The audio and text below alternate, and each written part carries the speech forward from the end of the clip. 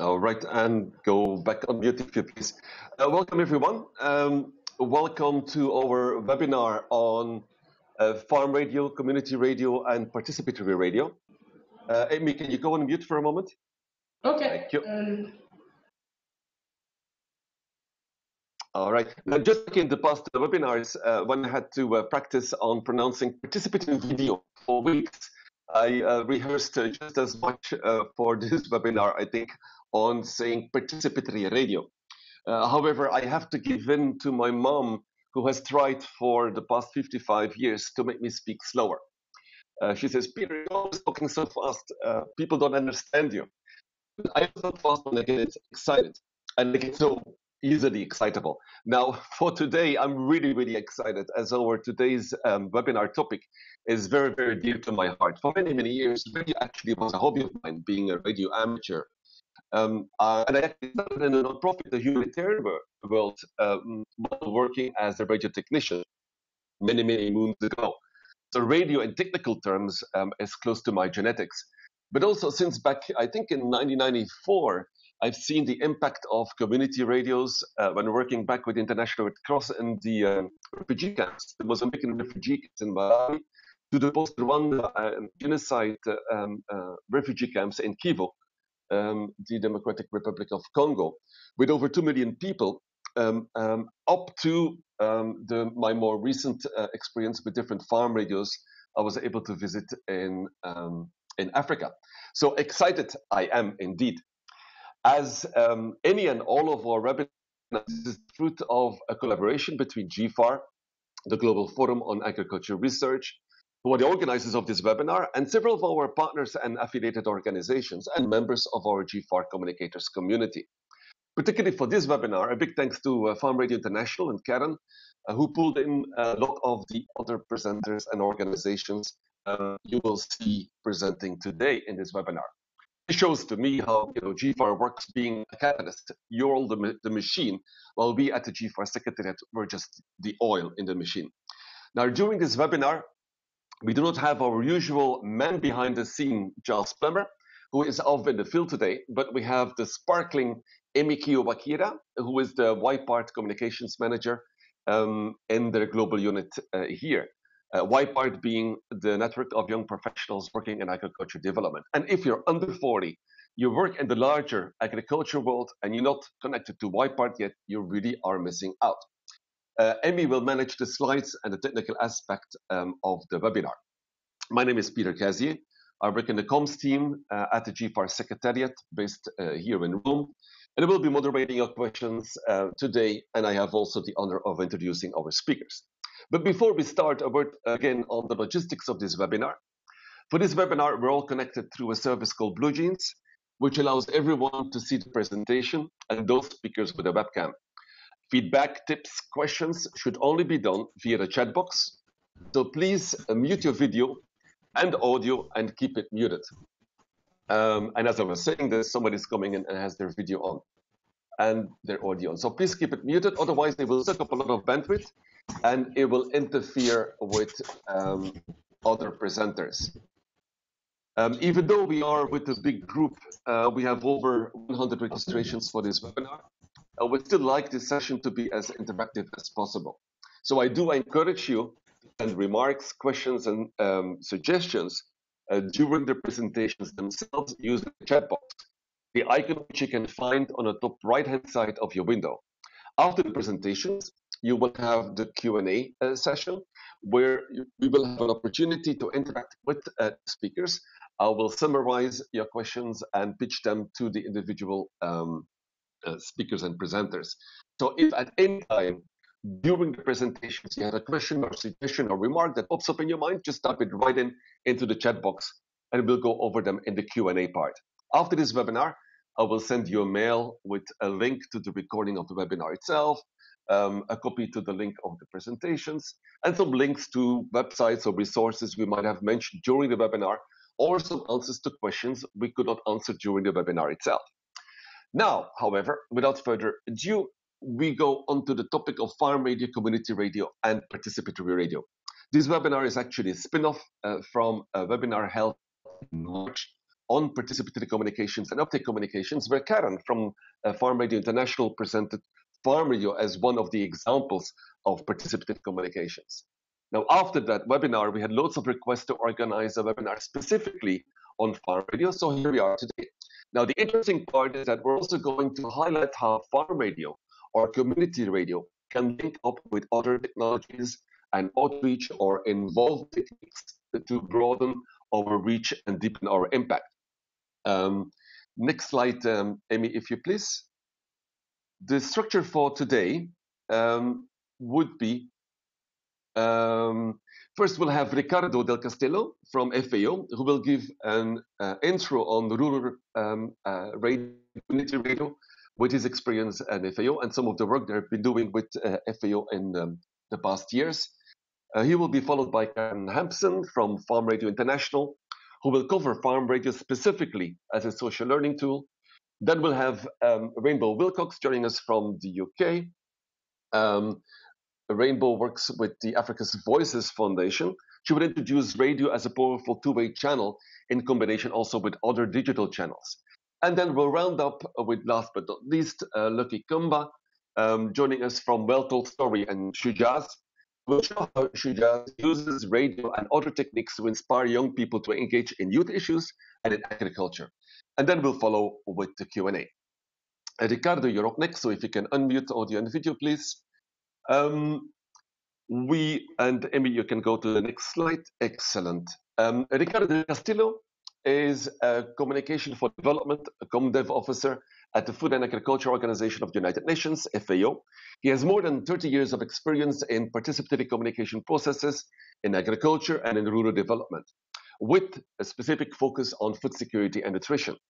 Ricardo has extensively worked in Africa and Eastern Europe for the development of communication strategies using multimedia approaches, the design and delivery of um, communications for development training, and the establishment of rural community radios and ICTs for agriculture research and advisory services. Um, take it on, Ricardo. The floor is all yours. Okay, thank you, Peter, and uh, welcome to um, to everyone.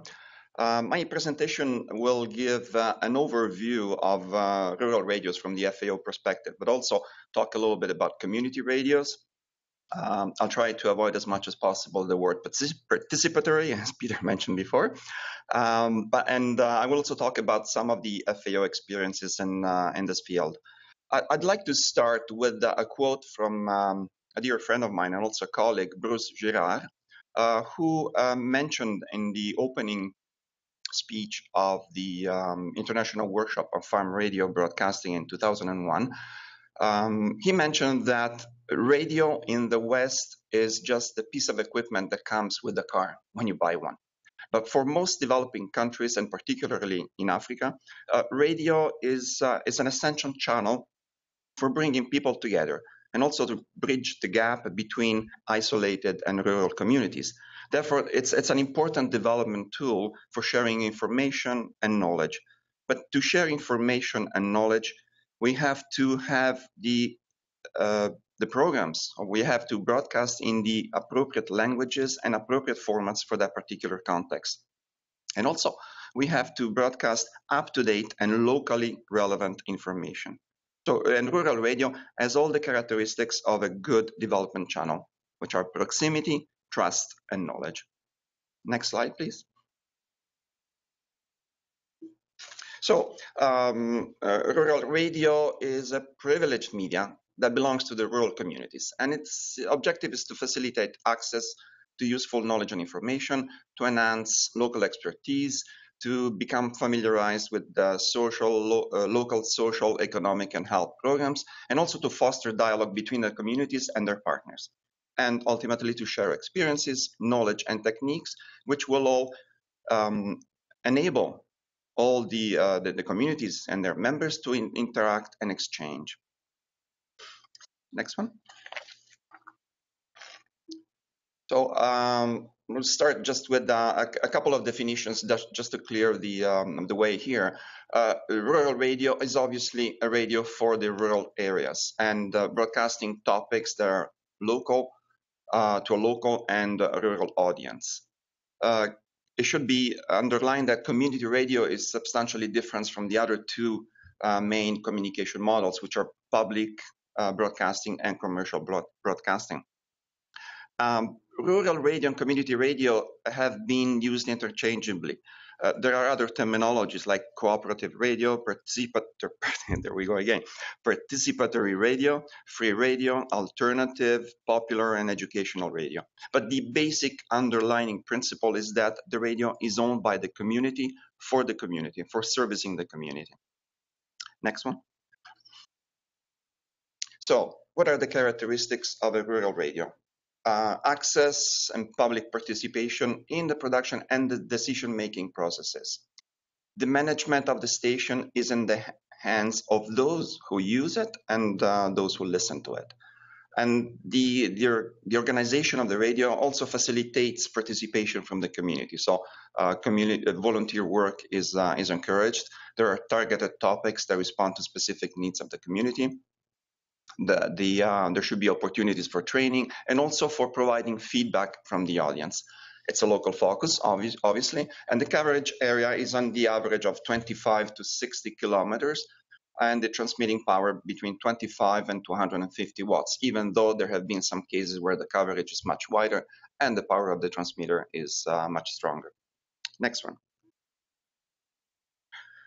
So from our experience, the establishment of rural community radios has um, has to go uh, has different different elements that have to be taken into account. Um, these are, for instance, the um, mostly to to engage the community um, and to uh, have their participation, as I mentioned before, in the activities and the man management of the radio. So there is a, a series of awareness raising sessions that have to be carried out beforehand with the farmers, the associations, NGOs, CSOs, and also with the public authorities, because in certain countries, there should be a complementarity between public broadcasting, state uh, radio, and um, rural, uh, rural radios. The uh, setup of a management committee um, that um, includes representatives of the different social and professional backgrounds in the communities, the building of the premises itself is also a participatory process whereby the community is involved in choosing the site and also in the actual construction of the premises. And uh, finally, the statute of a radio station, which is a, um, a guideline uh, to, um, uh, to allow for the, uh, the station to, uh, to function properly with a set of rules that uh, all the, the members and the management committee have to adhere to. Next one. Uh, in the establishment of the rural and community radios, also the selection, purchase, and installation of the equipment is important and has to take into account all the needs expressed by the community. So the choice of the radio equipment uh, to ensure that it's uh, technically suited for the um, for the context, uh, climate conditions, location, um, and um, everything else. And also the training of the radio personnel is very important. Training not only on the technical aspects, but also how to manage the radio, how to generate income, um, and also and also how to uh, to produce programs. You know how to uh, to make them more uh, attractive and how to get the audience uh, uh, attention the uh, elements of sustainability are important and the coverage of the radio signal is very important. So even before the radio is set in place, there has to be a need to test the um, uh, the width, the extension of the uh, of the signal. Uh, suitable equipment again, so that you know it's adapted to the various conditions. The operational costs, like you know, mm, think of ways to mobilize resources like membership fees, community services, sale of SIM cards, etc. And also setting up a monitoring evaluation system. Uh, often uh, the audiences themselves, like for instance, listening groups are uh, set in place so that they can provide feedback on the content and also on the quality of the uh, programs that have been uh, broadcasted. Next slide. So an important aspect is the needs assessment of the listeners. I mean, from the FAO uh, perspective, the topics that interest uh, the, uh, the audience would be the market prices, climate change, food security, and health, but also human rights, gender issues, and land rights, and also peace building. Also, we're talking about a radio, and it's the only mean of communication for the community. So entertainment as well plays an important part in the programming and in the um, transmission of, uh, of uh, rural radio programs.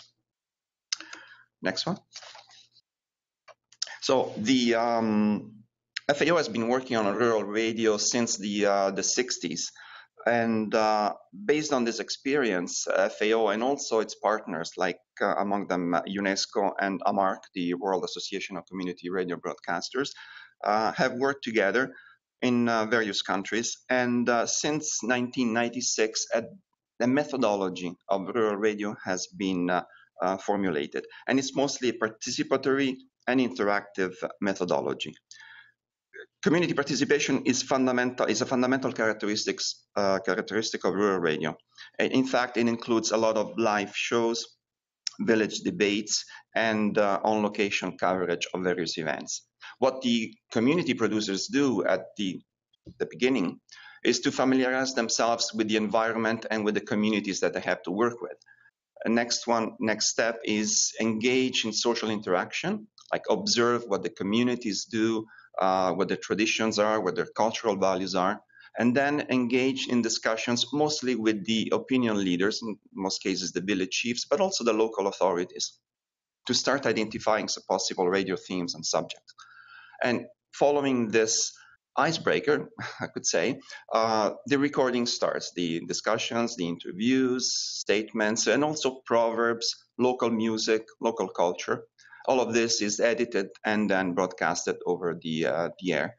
And the final stage is the monitoring or the evaluation of what has been uh, broadcasted and is face-to-face interaction with the, um, with the audiences. Uh, next one. Uh, in our experience, we uh, have uh, found that the rural radio methodology is based on four main principles. The interrogation principle, which is a condition that is essential for radio stations to integrate all the concerns, as I mentioned before, health, nutrition, agricultural production, but also entertainment. The interdisciplinarity principle, principle, which means that the teams that are trained have to be of an interdisciplinary nature, which means they should be not experts, but acquainted with all the topics that the radio is going to broadcast. The interactivity principle, meaning that the radio responds to real concerns of the community. And this is done through the needs assessment and through a continuous interaction with the audiences. And finally, the sustainability principle, which guarantees the continuity of the radio. So um, the uh, ability to uh, generate uh, local income to keep the equipment running because if people have to depend on the radio uh, and that radio is the only source of information. If the, ra the radio is off the air for uh, more than a day then that uh, interest in, in what is broadcast is, disappears and the the audience is, is lost. Next one. And uh, a final slide just to just to show what the uh, commitment of FAO has been in uh, um, since 19 uh, the beginning of the 60s with the creation of the radio clubs and the establishment of rural radios in Africa.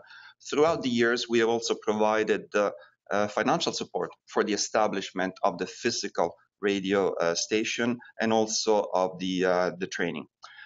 Um, the most recent trends are not in uh, providing the full range of equipment, but mostly concentrating on training and using the local radios, the existing radios, even if they're private radios, but to give, to devote part of their broadcasting to um, community issues and to serve the purposes of the community by also involving the different members of the community in the production and the um, programming aspect. And uh, this is the end of uh, my presentation. Uh, in a nutshell, I've tried to uh, capture what rural radio uh, is and what our experience is, and I welcome your question at the end. Thank you. Excellent. Uh, thanks, um, Ricardo. you can go on um, audio and video mute again. Karen, you can unmute your audio and video. um, for the next uh, presentation. Um, in the preparation of this um, webinar, Karen said, well, we can't have a webinar on farm radio or community radio unless if we um, listen in on an example on a piece. So as an experiment today, we'll just um, uh, give you a 20 seconds uh, snapshot of one of the rural radios. It's uh, Radio Free Africa and Radio Sengerema. And correct me if I'm wrong, uh, Karen, this would be, I think, from Tanzania. Right? Correct. All right, here we go. Umepanda ekari moja unajikuta kama umetumia kama asilimia ndogo sana ya mavuno uliokuwa mnategemea uyapate, aidha na viazi kutokutoa mazao ya kutosha. Kwa jina naitwa Gloria Balele, natokea kijiji cha Isangijo, kitongoji cha Mailinga. Mi ni mkulima wa viazi vitamu. Magonjwa gani ambayo unaona kwenye viazi vyako vitamu? Kuna vijidudu vya, yani vichwa vyake ni vigumu, vinakuja mashina ya ya marando, alafu baadaye lile linakatika na linazidi kunyauka. Now we're switching over to Karen Hampson, who is the regional programs manager with Farm Radio International, uh, FRI, a Canadian uh, NGO. She has over 20 years experience in international development, working with uh, farming communities on three continents in various guises. In her current role, she supports 50 radio and ICT projects in four countries of East and Southern Africa. The projects use the power and the reach of radio and ICTs to engage with listeners for various aims, to scale out uh, proven technologies, to promote uptake of agriculture innovations and improvements, or to assess the effectiveness of radio, ICTs, and other extension and communication for development methods. Uh, Karen also leads projects and partnership development in the region, building partnerships with various international organizations and research centers for effective impact projects. Um, Karen is based in Arusha, in Tanzania, at Farm Radio International's regional office for sub Saharan Africa. Karen, the floor is all yours. Go ahead. Thanks, Peter. I just want to check that everybody can hear me and say good afternoon. You're fine. Go ahead. Great, thank you. Okay, um, so yeah, from Peter's introduction, you can already understand that um, there's a lot going on with the radio. there's a lot going on with radio. Um, uh, if we can move to the next slide already. Um, yeah, Farm Radio is a Canadian NGO. We've been in existence for about 30 years. We've changed quite a lot over that time, but what hasn't changed is our um, commitment to and belief in what radio can do. Um, and uh, it was great to have that introduction from Ricardo, giving us kind of a theoretical basis. Because what I'm going to do, hopefully, is tell you a little bit about um, the more project-based work that Farm Radio International is involved in. Um, we work in uh, nine countries at the moment in Francophone West Africa and um, also in East Africa, and we have our first project in Mozambique. Um, so, uh, yes, obviously, our focus is on uh, small scale farmers.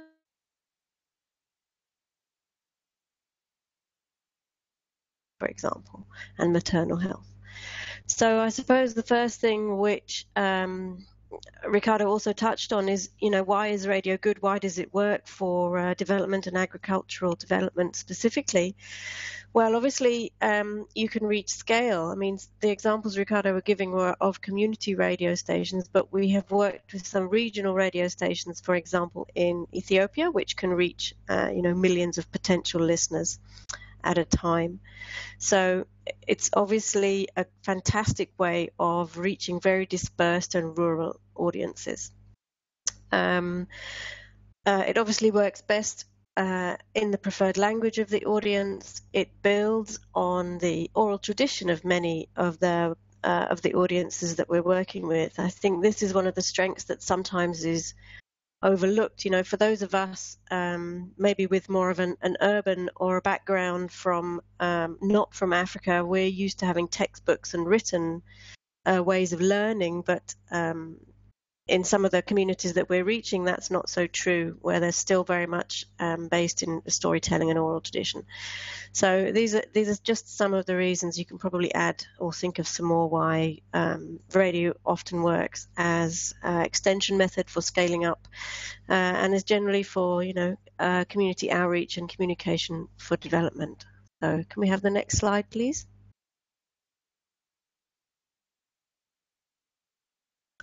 Let's see, while that's coming up, um, yeah, the reason that, up, what I wanted, to, go ahead. Yeah, what I wanted to talk about a bit more really is how um, radio can be used as a social learning platform.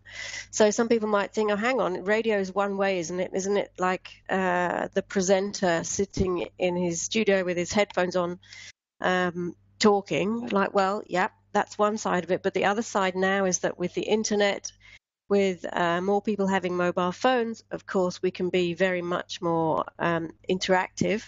And um, in our own projects, we've discovered that the more interaction, uh, the better, really. It increases our impact and our results in terms of um, knowledge gained. What our projects are about is trying to um, bring new ideas from the agricultural research centres to the farmers. So it's an you know it's kind of a an, an extension of the extension services, if you like. So um, our radio strategies are not just for um, giving out information. It's not just about dissemination. When people talk to me about radio for dissemination, I quickly say, hold on, I don't like that word. we try to talk about dialogue.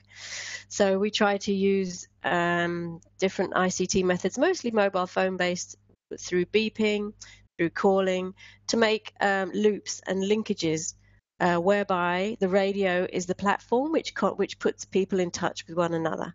So farmers can call in to to our shows. Most of our shows have a weekly question format where we request uh, listeners to respond through a beep uh, or a missed call or flash, whatever you call it in your country. Um, and also we have various methods of um, like sending out information. For example, in some projects, we've had um, farmers who want to buy planting material and uh, they'll send us a, a, missed call and by response we'll send them an SMS back uh, with the list of seed suppliers in their region. So by kind of creating that linkage in that loop with input suppliers or um, uh, other extension offices in the region, it can be it can be very much used in that sense of, of linking people. Um, the other thing I wanted to mention a bit here is, uh, yeah, I've put on there room for doubt and discussion. I think that's you know that's one of the things that we try to do. We're not the way we use radio in, in Farm Radio International is not trying to sell a product or not trying to um, you know uh, promote anything specific, but in in the sense that um, we're getting farmers to make their own decisions. We're giving farmers all the information, the pros and the cons, um, and leaving room there for, for dialogue and discussion and, and weekly questions. We're giving them room to air their doubts, room to discuss, uh, so that then um, you know they have their own fully informed. They are able to make their own fully informed decisions. So, um, yeah, we started doing um, these impact projects with interactive radio maybe 10 years ago now. So we've got quite a good body of evidence of what works and and why it works. Um, uh, as I mentioned, we've found that the more interactive a program is, the results tend to be better in terms of knowledge gained or awareness or, or even uptake. Um, one uh, useful way of interacting with the listeners is to encourage listeners groups. These can sometimes be particularly useful for groups uh, like women who may have less access to radio or who may have less chance to be able to interact with radio. So, in some of our projects, we've encouraged radio stations They subsidize the radio set for the group, and in return, they will promise to send us by phone their weekly feedback. Um, so in that sense, we found that quite useful. And with listeners groups, you tend again to get slightly higher rates of interaction, then slightly higher rates of knowledge and and impact in terms of uh, change in practice.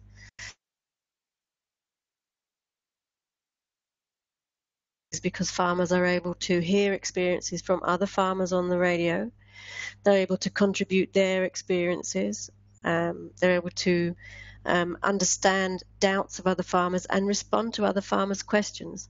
I think um, probably we're all aware and we all acknowledge that uh, farmers tend to prefer to learn from other farmers and listen from other farmers rather than uh, maybe an outside extension worker or, or scientist coming in and telling them what is the best course of action. Uh, it's this idea that you can sit down and discuss a radio program, think about it, uh, and then send your questions after hearing the program, send your questions back to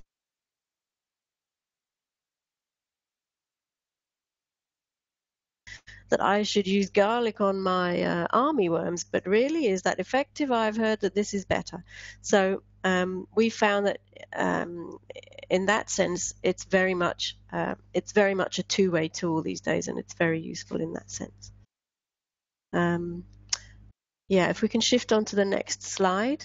The only other thing I wanted to mention there is that it's also radio can be very reactive because we're constantly trying to hear from our audience, we can very quickly shift the content of the radio. We did this, um, we've done this a couple of times recently, usually because of um, local climate or weather.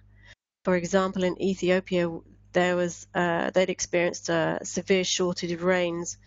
Um, some of our programs were were talking about um, how to start planting planting distances and so on. And the farmers called in and said, "Look, we're not planting yet. There's no rain." So then we shifted very quickly to, uh, you know, what to do to conserve water, what to do to prepare, um, and just we were just able to shift the programs and be responsive to what the farmers needed, uh, what kind of information and resources they needed at the time to support what was going on um, in their fields.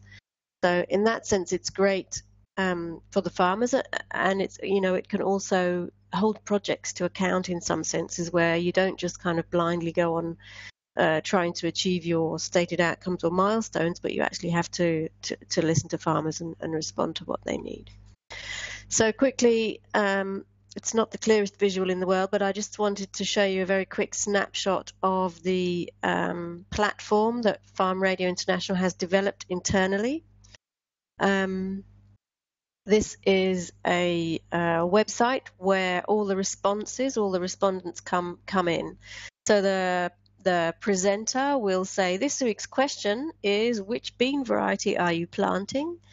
Uh, for the Iringa variety, press 1. For Kitenge, press 2. For Rosecoco, press 3, and so on. So um, uh, the respondent will dial in, they'll get a missed call, and then they'll be able to uh, press the number on the phone that corresponds with their answer. And then when the, when that's done, you can see in the left-hand column all the phone numbers come in, and sometimes we'll ask them to record their message for the radio station or their program. You know, sometimes that's just "Hi, mom, how you doing?" Other times it's a technical question. So there we're gathering content and we're getting we're getting feedback already. And then um, uh, we'll try and follow these up with a small SMS survey asking people where they are uh, and perhaps what sex they are and what they're growing. And then, as you see, that's a map of Tanzania. We can map where the responses come from. So that's, uh, you know, in that sense, then we're using radio as a data gathering. So it's quite effective um, to gather feedback about the program. Where are your listeners? Uh, what are they doing at the moment? And then you can ask them, you know, any question that you like. How is the radio program? Do, do we have enough farmers' voices on? Should we hear from women more often? So on and so forth. So that's a great platform to to encourage interaction and to and to gather data also. Okay, I think we can move on. Let's see what the next slide is. So yeah, that's that's where we are at the moment. Um, we're we're very much project based, um, although of course we're thinking bigger. So I just wanted to spend the next few moments uh, talking about where we're looking at in future. So if we can have the next slide already. Um, one of the issues that was already touched on by Ricardo also was the sustainability aspect. So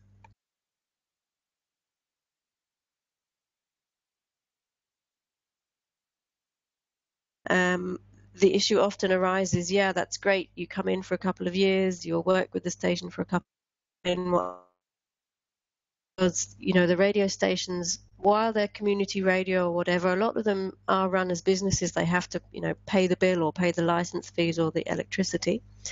So um, this issue of sustainability uh, is one that's you know very much in our thoughts. And the way we're looking at it is to try and move to more network uh, based working um, in the sense of we are looking to um, looking looking at radio as more of a platform uh, to help uh, the public extension system. So we might work in a manner where um, we were able to um, network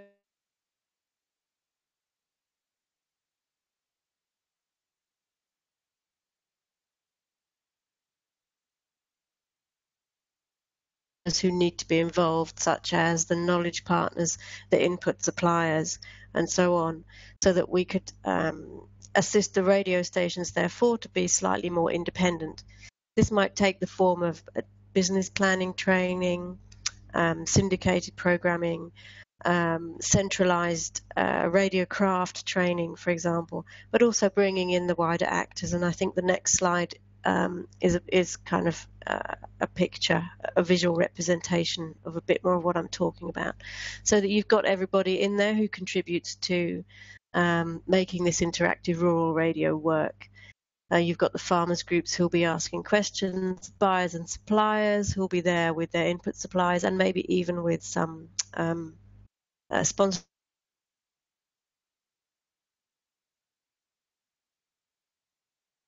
you know, this would be a way of uh, influencing extension policy and and um, increasing the likelihood of radio being used as as a nationwide extension service. So that's where that's what we're looking to at the moment. I think uh, I think that's my last slide, in fact. So thanks very much for listening. And we just have a slide of a presenter there. That's great. That's Clara from our Radio 5 here in Arusha. Thank you very much, and I'm looking forward to your questions. Excellent, um, um, Karen. Thank you um, very much. We have quite a bit of, uh, of questions coming in already. I'm trying to keep track of uh, all of them. The chat channel is where you can enter your questions. You can uh, browse through um, the previous questions and remarks given. Uh, meanwhile, uh, Rainbow, I can see you're already unmuted. Excellent. Um, so we'll switch over to, uh, to the UK, to Rainbow Wilcox, um, who is Africa Voices uh, Foundation's Impact Learning and Communications Manager. Uh, Rainbow was uh, first involved with Africa Voices Foundation during its pilot phase as a student volunteer while completing an MPhil in, did I say this correct, um, Rainbow? M- Phil? Um, it's yeah, it's a master's, master's in philosophy. Master in Philosophy and Development Studies at the University of Cambridge. Her role draws upon experiences in East Africa in the nonprofit sector and in communications, including with radio stations. She gained an understanding of uh, social science research methods during her psychology uh, bachelor's at University College in London. Uh, we're all yours, Rainbow. Take it away. Great, thanks very much, Peter. Um, and also thanks to Ricardo and Karen for setting the scene so well about the the the power and the potential of radio, and also Karen touching upon there the new ideas that can help to make to include more forms of technology it, such as SMS and ICTs. So, in my short presentation, I wanted to touch upon how radio um, can be used as a research tool and particularly incorporating digital channels uh, and new technologies to amplify the voices uh, of ordinary citizens and in this context um, of farmers. So yes, thanks. Next slide. Um, Africa's Voices began as an applied research project at the University of Cambridge and radio has always been core to um, what we've been interested in. So it started out as looking at how can community radio spark conversations on development and governance issues, and gather opinions um, from people from a, it was it was working in eight different countries, African, sub-Saharan African countries, um, and getting conversations going by allowing people to text in via SMS um, and, and share their, their views and then rebroadcast those on the radio station. And from that original research, we've, we've evolved and developed, and we're now a, a non-profit research organization based in East Africa. So we have our office in Nairobi as well as in Cambridge and retaining those links with the university. Um, and why we do this? So, like I mentioned, we want to, the moment, so so often the people's voices are missing from development and governance um, initiatives, including agricultural projects. Um, and sometimes, as a result, um, there can be things that are missed which impact on the effectiveness of an intervention. So we want to try and understand people's views. And if you could just move to the next slide, please. Um, we work with various partners across East Africa and also moving beyond East Africa as well to help them understand various issues um, ranging from, so for example, with Oxfam in Kenya, we have helped them to understand uh, citizens' views on oil and gas developments in the northern part uh, in Turkana. Um, with Livity in, Af in South Africa, helping them to understand what young people think on the municipal elections. And with Well Told Story, who you'll hear from um, after me from Lucky, we've helped them to analyse and to understand all of the vast amounts of digital data they're receiving from their audiences. Um, and throughout this presentation, I'm going to focus on a case study of some of our work with UNICEF in Somalia, where interactive radio has been the core approach of that project of understanding people's views on a range of health beliefs. Um, and if you could move to the next slide. So the three core points I wanted to emphasize about using interactive radio as a, as a research approach is um, starting with a robust research design, ensuring that the engagement with the radio audience is, is meaningful, and also what do you do with all that data at the end, um, introducing some of our approaches to analysis. So next slide, please. Um, so, you know, we come from, uh, we have a, foundations in in research, um, and we continue to try and make sure that all of our projects are grounded in a, a, strong theoretical framework. So we might start with a with our partner, with with UNICEF or with Oxfam, to understand who who do they want to reach, what do they need to understand, and from our partners' problems, we can translate that into some research questions and help to develop some a, a robust research design that will ensure we're gathering appropriate and relevant data to meet uh, our needs and answer our questions. So moving on to the, the case study for this one. Um, so this was a pilot project we did, the first project we did with UNICEF Somalia in 2015. And we used a, an ex post facto design and the the research questions for that for this project were Firstly, what are the differences between parents who vaccinate their children and those who do not? Um, and what are the differences between parents who seek appropriate healthcare during pregnancy for their and for their babies and parents who do not? Um, so what we're really looking for is to gather data on people's beliefs, um, as well as their practices and their behaviour, how these are associated with each other, as well as how they're associated with social demographic groups move to the next slide, please. Um, engagement. So, yeah, engagement matters, and how it's done is really important. Um, and I think, as you know, other as the other presenters have started to touch upon, to generate a, a lively conversation, to get lots of different people um, participating, whether it's through call-ins or, or texting, texting in, um, you need to put some careful planning into that and to um, yeah to test the script to be engaged with the host so our approach is we work with our research design and, and develop that into a citizen engagement um, design. Um, and the reason why radio is it continues to be so important is that there's it's a forum that can be trusted um, and there's spaces that, that that are valued. And coming from a research perspective they can be considered as as large scale fo focus groups where different beliefs and ideas are flowing from people from a, a diverse range of backgrounds.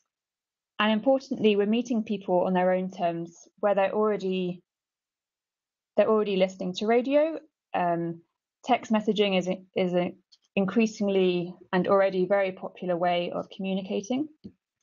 And it allows people to express themselves um, in their own language and in ways that they're comfortable with.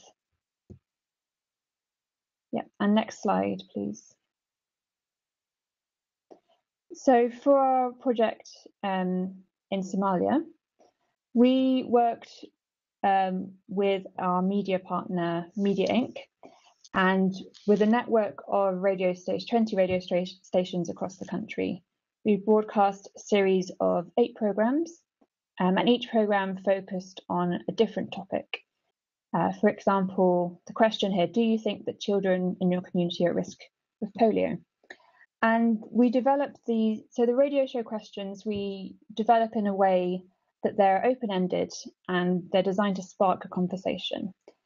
We ground them in social cognitive theory, so trying to understand how will these questions be interpreted by the audience, um, thinking again back to what data we are going to receive. And we also try to always test the, the questions and the scripts. And this is important in, in some projects where the script will need to be tailored for each community or each region that we're working in. Yes. And then secondly, um, still on the previous slide, uh, yeah, thanks. So anyone that participates will then receive some follow-up questions by SMS. And these are to gather their social demographics, so their gender, age, location, as well as if they're a parent, if in this um, case that was relevant and also a question about their practices, their behaviours around the issue that we're interested in. So, an example here is Did your child receive the polio vaccination? And in this project, um, you can move to the next slide now.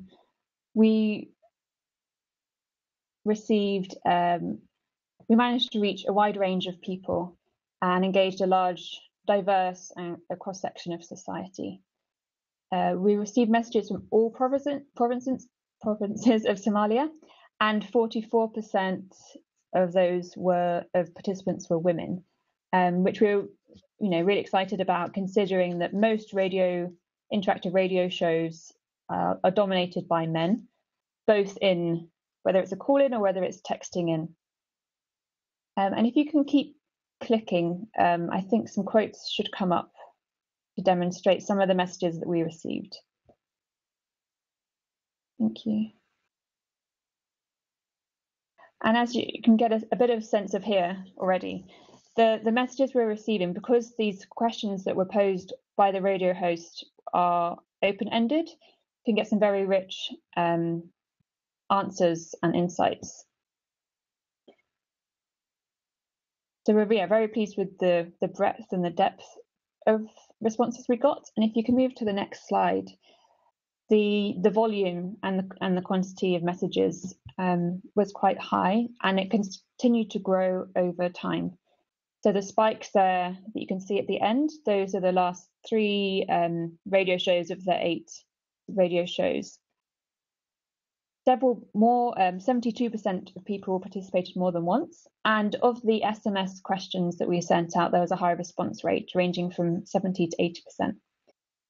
Of all of the messages that we received, um, after we cleaned them, so we removed some of the messages that perhaps just had one word or those messages of you know saying hi to their mum, um, we had just over 19,000 messages from seven and a half thousand people that were appropriate to move on to the next stage uh, of our analysis. And if you can move to the next slide, please.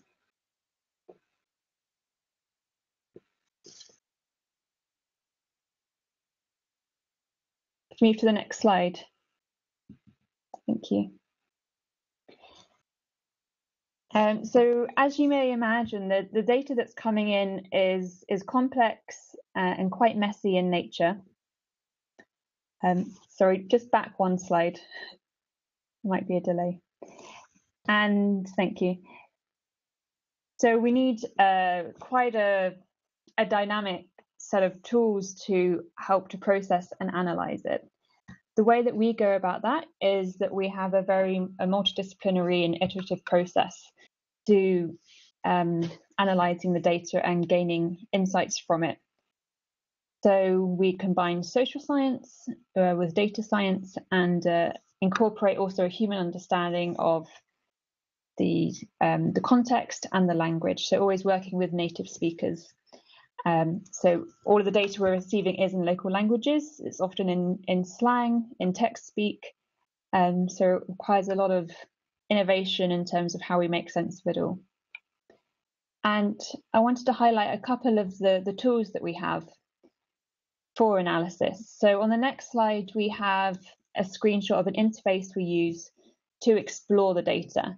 Um, this was designed in-house and it allows us to filter the messages that have come in by county, gender, age. We can search for keywords and this allows us to begin to get an understanding of what's in the data, what might the themes be, um, and from that, that develops a, a framework to begin the, the qualitative analysis that would follow. And on the next slide is another screenshot from a crowdsourcing app, which we developed with our for our work with Well Told Story. So this was to help us to label lots of textual data, which was in Sheng, which is a slang variant of Swahili. And by getting users to to label the different messages that are coming in, in terms of what is the what is the topic, what is it about, um, what is the sentiment, we can start to train our automatic algorithms, machine learning algorithms, and throughout our analysis, there is this relationship between manual techniques, um, working with native speakers, and more automated data science techniques. And they learn and build upon each other to speed up our analysis to ensure it's accurate and always grounded in the realities um, of the language and of the context. So returning finally to the, the UNICEF case study, I wanted to highlight one of our findings that we gained from, um, so starting from the research design through to the engagement. And finally, one of the, the insights that we got that we then presented to UNICEF in our reports was that those who perceived a risk of polio in their own community were twice as likely to, uh, for their children, it was twice as likely their children were vaccinated against polio. Um, and this was interesting in that it shows that the the, the interventions and the programs that UNICEF is um, implementing to reduce polio need to move beyond just talking about uh, what are the symptoms and the transmission of polio, but also what are the likelihood that a, um, a child will, will catch the disease or what, for example, what is the risk? And by targeting, by increasing the perceived risk of polio, we hope that vaccination levels will also increase. Yeah, so that concludes my presentation. And I hope you'll get a sense of how interactive radio, so radio combined with SMS, uh, can be used as a research tool. We're also exploring other methods of gathering data, so through IVR, which is interactive voice uh, response, um, and Perhaps for some of you, you might be wondering why I've just been talking about polio vaccinations and health in Somalia when this is a agricultural forum. Um, we we have been in conversations with um, agricultural organisations as well as Farm Radio International uh, in anticipation of upcoming projects related to agriculture. Uh, we think that our method and our approach would be relevant across a wide range of, of agricultural and farm related issues. So we're, we're really keen, keen to explore and to amplify some of those um, farmers' voices across the continent. I look forward to your questions. Thank you. All right, thanks, um, uh, Rainbow. Um, thanks for highlighting the use of, uh, of radio and community radio um, uh, in the research. We're looking forward to um, uh, how you will uh, implement this in um, in farm and agriculture. I see Lucky is already coming uh, online and unmuting. Uh, Lucky Komba, also known as Alan Lucky, is a media personality, a media consultant, and an education activist and a digital expert who's been in the communications industry for 12 years. He started with exper- um, experiential um, marketing uh, campaigns in 2005 and eventually made an entry in TV and radio career in East Africa television uh, in 2008. He was amongst the founders of the most famous high school TV, show in Tanzania in 2009 called Skonga, uh, which still airs on East Africa TV. Now, Lucky is currently part of a team of creative minds at Well Told Story Limited as a senior media producer for Shujaaz. Uh, for those who don't know Shujaaz, Shujaaz is a two times um, Emmy award winning multimedia communications platform that helps to improve the lives and livelihoods of young people in uh, Africa. Uh, Lucky has a wealth of experience in dealing with young people and handling matters related to them. In regards to this, he believes that young must be involved in finding solutions to their challenges. And I think, Lucky, this is how also your enthusiasm and your work in Shujaaz relates to. It's all yours, Lucky. Take it over. Thank you, Peter. Hi, everyone. Uh, my presentation today um, will mainly focus on how Shujaaz uh, uses radio to encourage young people in Tanzania and, and, and Kenya uh, to engage themselves in agriculture. So, uh, but before that, let me just uh, give you a sneak peek and, and an introduction. I mean, to introduce WTS, Well Told Story, and Shujaaz as well. So, if you could go to the next slide, please. So, Well Told Story, we actually do three things. Uh, one is research. We harnessing, uh, we, we, we're doing that. We, we're harnessing the power of research, but also we do media and strategic communication. So we have a part of us which is dealing with strategic communications, and Shujaaz is a media part of it, and also we do a lot of research. Um, so Shujaaz, as I said, I will focus mainly on Shujaaz as a project, a project on, on, on media, and it is a unique multimedia platform uh, produced by Well Told Story, uh, which tells stories about young people to young people. Uh, and this is mainly to inspire, give information, and create discussions uh, around different topics. So, how did we start radio, and what are the other platforms that we, we, we actually deal with? So, on the slide that you're looking at right now, these are different platforms that we are dealing with but I'll tell you a story about how we started radio. So um, we have our main character, uh, which is DJ T in Tanzania and DJ B in Kenya. So this is a young boy of 19 years old, uh, just finished high school. Um, after finishing high school, he couldn't continue with studies, just like any other young people in, in East Africa.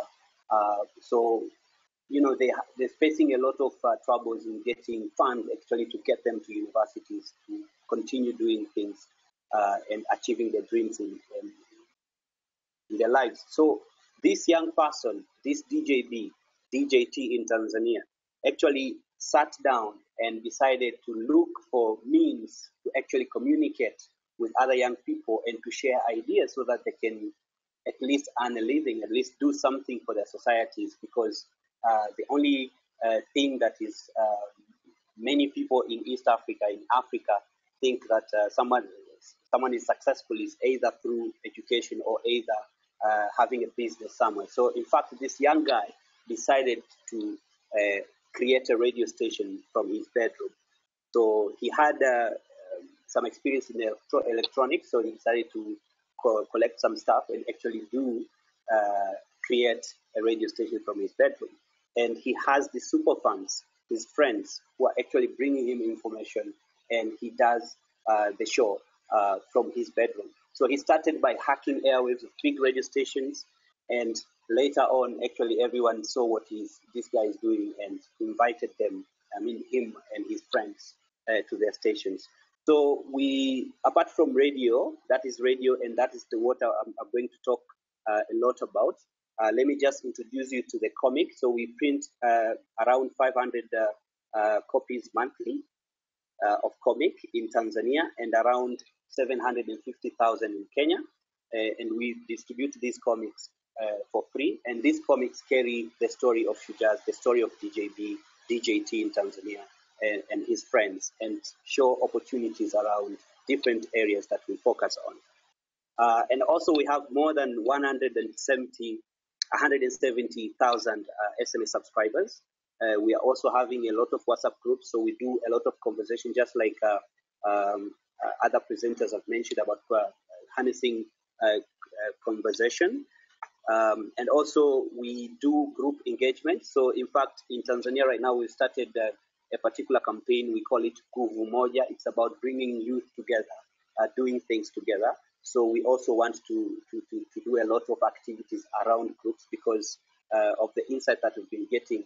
Uh, young people in Tanzania and Kenya, they really like to be in groups and do things together and at least to get approvals from their peers and to get that, um, uh, uh to, to cement whatever ideas they have with their friends.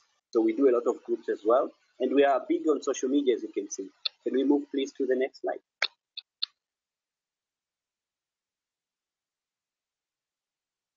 Yeah. So why why did we actually start uh, working on uh, agriculture on our radio?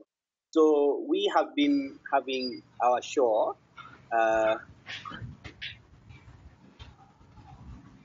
so we have uh, we have been having our radio show.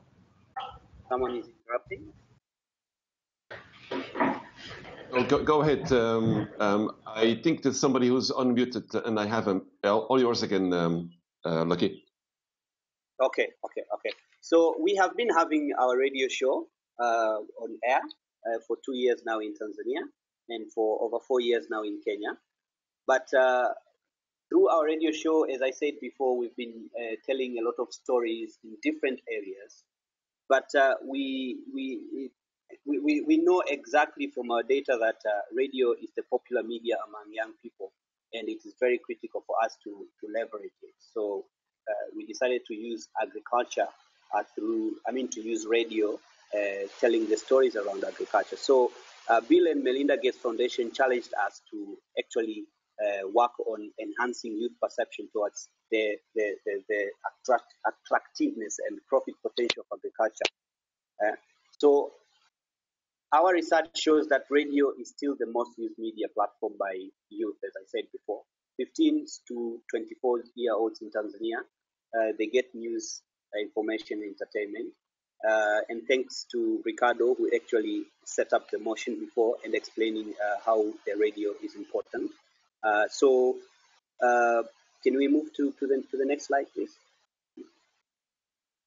So by getting that challenge from Gates Foundation, we decided to use this radio. And before you doing that, we decided to actually do something we call ground truthing. So for us, ground truthing is uh, a research that we do before we do before we make any kind of content. So before engaging the youth with content on radio or other Shujaaz platforms, we do a research and then we have insights and then we move on uh, uh, making content. So through our initial research, we found out that youth uh, thought agriculture is not for them. So before it was like they needed motivation, they needed someone to tell them that agriculture is for you and there's money in agriculture. But also we found out that agriculture for them is something uh, that they can opt to do after they have failed in their lives. It's something of a last resort. So that's what we found out. And then we, we also found out that money matters a lot for, for, for most of the youth in East Africa. And the big question is can, they, can agriculture bring uh, quick money? Can agriculture bring me money, right? But also, we found out that social capital is very important. So they need to feel uh, uh, respected. They need to be respected in their society. They need to do something that a society can actually uh, respect them for. Yeah, and they, they they also feel the need of being stars among other peers. Yeah, So the big question was, if I do agriculture, can agriculture actually bring me that respect I need? Can agriculture actually make me star among my peers? But also we found out that uh, there's there's the issue of community approvals and peer approval. So if my friend is doing this, I can also do it. I can also do it. If my friend is not doing it, why should I do agriculture? So that's another thing that we found out. But also, uh, we also uh, found out the issue of uh, role models because most youth in East Africa they have people uh, who influence them in, in all the things they're doing, eh, making decisions. Uh, you know, buying shoes. What kind of shoes can I can I really buy? Uh, someone should influence me, or maybe I saw this star on TV wearing a particular uh, kind of hat, so I, I had to go and, and buy it.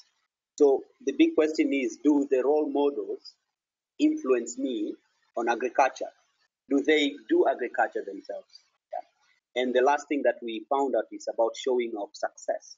So it's like, uh, what is it exactly I can get from agriculture? Is it a lifestyle of my dream? Can agriculture make me achieve my dreams? So those are the things that we actually found out before we started uh, doing uh, all this agriculture campaign on our radio show. We could move to the next slide, please.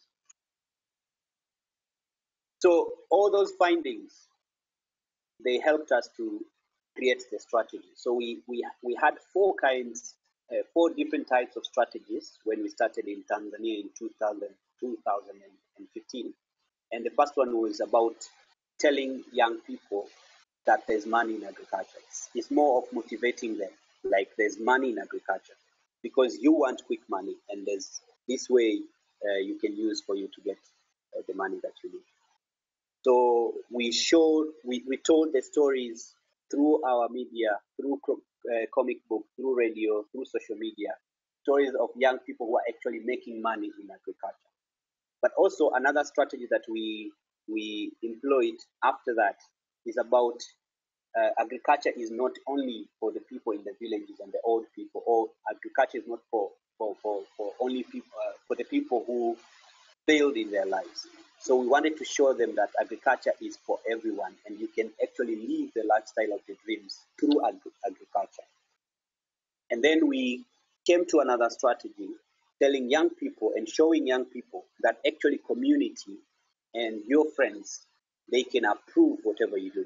So if it's about family, it's about uh, friends, if, if it's about everyone in the community, people are okay with, with, with, with you doing agriculture. So in fact, uh, it was telling the stories of people who can endorse agriculture and we can and also showing the case studies of people who are doing it around their own woods. So if I'm living in this street, uh, we were showing stories of people uh, in the same street, just like you, doing something around agriculture and making money out of it. Yeah, that's that was another uh, another strategy. But also we we we decided again to employ another strategy later on, which is we, we were working on it right now. It's about showing success from agriculture. So the stories that we are telling right now about people who have actually achieved something through agriculture. Either they've bought a car, they've built a house, or maybe they've gone to school. So I have a couple of examples, uh, as you can see on the slides, uh, on the slide there. So we told a story about this young girl, as you can see her from the first photo. Her name is Petronilla, and this girl actually was working uh, in a bank, and she quit from a bank just to do agriculture because she she saw how agriculture uh, can make her achieve her dreams. And now she's having her own company, uh, supplying food in Dar es Salaam and the nearby uh, cities. And after telling this story, many, many young people started now to see the opportunity in agriculture and starting asking a lot of questions, trying to get a lot of information. How can I start? How can I be like her? So we actually used her to motivate other young people and also to show that there's this way you can also earn a living and achieve your dreams. But also we have this young girl in in in in, um, in Mbeya. Her name is Esther. Esther was given a land by his uh, by her family, just to produce food for the family. as you know, most uh, village people they just produce food for their families, not for actually doing business or, or making money out of it. So she was given a, a land by her by her father produce food for the family, but she she, she decided to she she saw actually the the uh, the business opportunity by just getting that land. So she saw that opportunity. She decided to start uh, growing vegetables and selling to neighbors and then nearby streets, nearby towns. And now she's actually uh, doing very good. She's leading a very good life in Mbeya right now because of agriculture. And she's big in Mbeya because she's even selling her vegetables to the nearby cities, not only in Mbeya itself, Sumbawanga, Iringa. She's getting a lot of orders. But also, we told a story about uh, this young boy called Mohammed. Mohammed uh, is a student at uh, UDOM, University of Dodoma in Tanzania. So Mohammed had uh, uh, his dream is to get a degree. Told us, "I wanted to get a, a degree." So we decided to tell his story through our media, through radio. And in fact, he couldn't get any money, just like the story of DJT and DJB He couldn't get any money to for him to go uh, to the university and actually uh, accommodate his studies at University of Dodoma. So what he decided to do, he decided to engage in agriculture and get money and pay for his education. So in fact, this year he's in third year at UDOM. Um, I can't remember the degree he's taking, but he's, he's, he's having, he's about to get to achieve the dream uh, that he had before, and there are so many other dreams that he uh, he has. And in fact, we're going to to, to tell his story more uh, on East Africa Cup, which is coming up uh, this June in Moshi. But also, we told another story on the other angle. You remember the findings that we said uh, we found out that role models do role models actually influence young people in East Africa to engage in agriculture? and we realized that there are so many stories that media don't cover about this role model. So they just cover about their stardom, what they do, what they wear, what music they make, you know, what club they went last night. But in fact, they don't tell the people, the community, that this guy is making his money through agriculture as well. So he does music, but also he makes his money through agriculture. So we told a story of this famous musician in Tanzania, probably the richest musician in Tanzania, uh, called AY. So AY, a big chunk of his money is coming from agriculture, if you didn't know. And in fact, after we told this story, every young person who is a fan of this particular musician started to ask questions, say, and, and, and, and requesting for more information around how did AY make it. Yeah.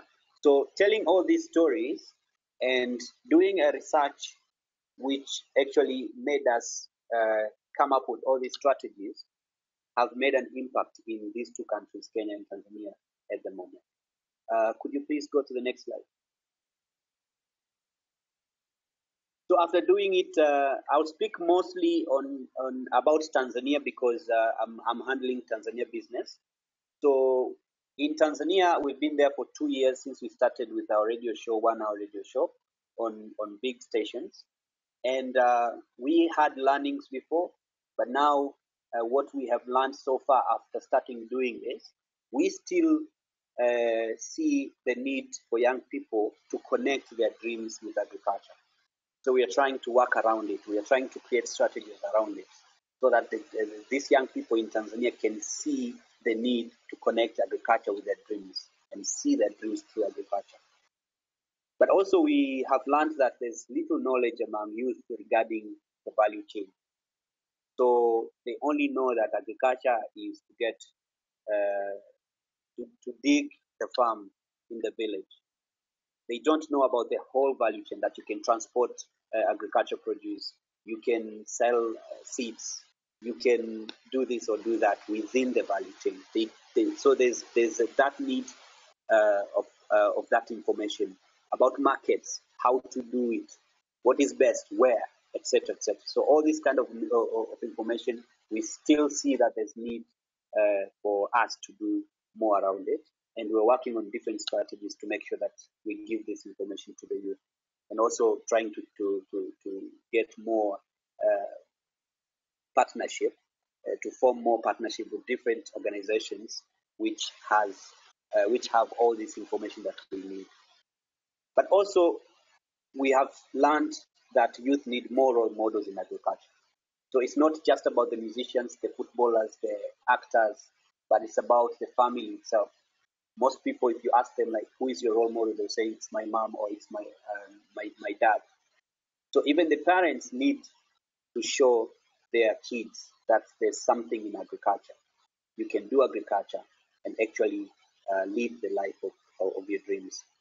Even the successful peers around. So among our strategies, I said we show success. So if we, we, we, we tell a story of a, a, of a guy from your street, we actually talk about how he has um, uh, achieved something in his life through agriculture. So it's about success.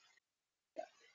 But also, we have learned agriculture is still a risky business for youth. We have been hearing a lot of information about it. Maybe the rainfall, there's a there's a problem with the rains, or maybe if you grow this kind of crop in this particular area, you won't get enough yields. So there's still it's still risky business because there's lack of that information and lack of people to help these young people. That's what we we, we, have learned uh, so far right now. And still, money matters. So if agriculture could give me money every day, I could, in, you know, engage in agriculture. So we need also uh, uh, we're trying so hard to work around it to make sure that young people see the opportunities in agriculture and actually you can make money through that because money still matters for young people. And as, I, uh, as I've been uh, insisting that our aim is to continue to work with youth through radio, uh, addressing the issues, all these issues about information, uh, connect dreams with agriculture. It's not risky to do agriculture. You can get money through agriculture. So we, we th- that's a uh, that's our aim to continue doing that. Uh, next slide, please. So on this one, I would like to to uh, uh show how uh, successful our programs and our campaigns have been uh, so far. So just taking you back a little bit, as I said, we launched Shujaaz in Tanzania in 2015 the month of March. And we just started with uh, 70,000 comic books. We didn't have a radio show before. And we started our radio show in November 2015. So it's just uh, um, a span of two years since we started. So we did our annual survey in 2016, and our reach was 9%, as you can see on the screen right there. Out of these 9% people, uh, young people 15 to 24 year olds, uh, 7% of them actually they've used Shujaaz either once or twice, but the monthly users were 2%. But we, uh, last year uh, in December, uh, findings, we, we got findings in January this year, in 2017, the reach has gone up from 9% now to 23% and monthly users are 11%. So for us, it's very big, and this is we, we see it's a huge success for us as, uh, from when we started and how we do it, and also even the feedback that we've been getting.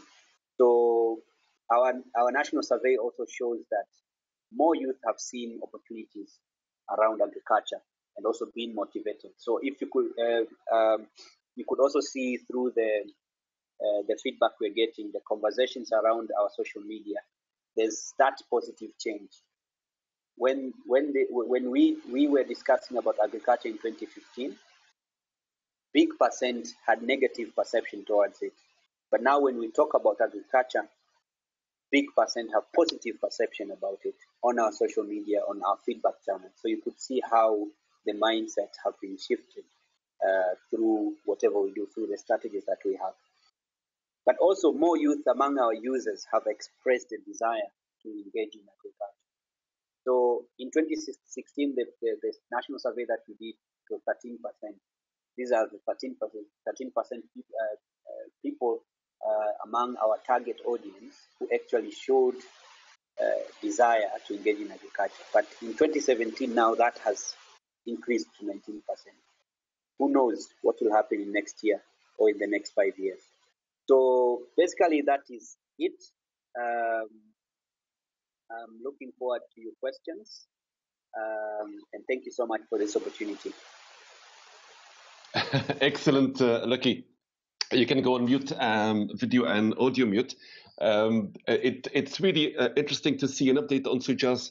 Um, uh, I think the first time that I, I, heard about the program was back in 2009, 2010, um, where they were uh, just starting to get involved in agriculture, uh, coming from a youth program, and it's see it's really interesting to see how it has evolved and spread. Um, and the um, the reach and the impact it uh, it had. We had um, a lot of questions coming in, going from very technical and legal questions to practical um, uh, questions. So we go through the um, uh, different um, questions uh, presenter by presenter. Um, I'll give you, for the presenters, I'll give you a head up if a question is coming your way. So you unmute. I would suggest you unmute your audio only so we can save a little bit of bandwidth. Um, Ricardo, the first one is coming up uh, for you. Um, it's a question that came in from Hilde Koenen. Um, Ricardo, uh, what is FAO doing if the necessary funds can no longer be raised uh, locally? Given the important role of uh, rural radio uh, one would suppose there is a support fund of some uh, some kind. Um, I would also um, like to tell the other presenters if they want to pitch in to answering a question that I'm giving to one presenter, please unmute and just uh, pick in as if we were be sitting on a podium. Uh, Ricardo, so what is FAO doing? Um, or is there a general um, uh, fund on support going beyond the initial uh, cost of setting up a support fund uh, for rural and community radio. Go ahead. Okay, thanks, Peter, um, and thanks to uh, Hilde for the for the question. Um, yes, I could answer right away. Unfortunately, not. There is not some kind of a revolving fund which provides ongoing support to uh, to rural uh, um, community radio stations. Um, FAO also does not have a program on rural radio. Um, I don't know if mm, uh, our audience knows that FAO is a UN organization, is an implementing organization, it's not a funding agency. Therefore, it works with governments and with donors uh, to implement a project. So the um, the support given to a, a given um, to a country uh, with regards to radio is only limited to the uh, to the period of the uh, the project life. Uh, having said that, I um, I should add that and, and I could could not stress this uh, enough. The needs assessment is very very important for the sustainability of the radio. Uh, and when we talk about sustainability, um, sorry, and when we talk about needs assessment, it's not just in terms of content, information, uh, languages, broadcasting times, and so forth, but also that all the conditions for the sustainability of the radio are met. And these include the uh, willingness of the community to support the project. Also to uh, do a, market analysis, see what are the sources of revenue. Uh, in um, many uh, West African countries, the communique, the um, uh, what would you call it? The uh, notices, you know, births, deaths, weddings, and so forth, are a source of income because people pay for that information. And also, let's not forget, at least in our context of rural radio uh, addressed to rural communities in isolated areas, radio is the only source of information. Um, and when I say that, I also mean that it's information also about market prices. Uh, farmers have to displace themselves quite a few uh, kilometers in order to go to the nearest collection point, uh, either for um, uh, for crops or for their produce. So knowing in advance what the prices are what the market prices are, where the uh, the products can be uh, sold. Uh, it, it's it's vital information for them, and uh, and if the information is useful, um, they're also willing to pay for it. Obviously, with you know keeping you know a word of caution, you know there are differences between various environments, but this is what we learned in terms of uh, sustainability. Um, I'll, I'll stop there because then there were, I noticed there were other questions that maybe will be addressed later on.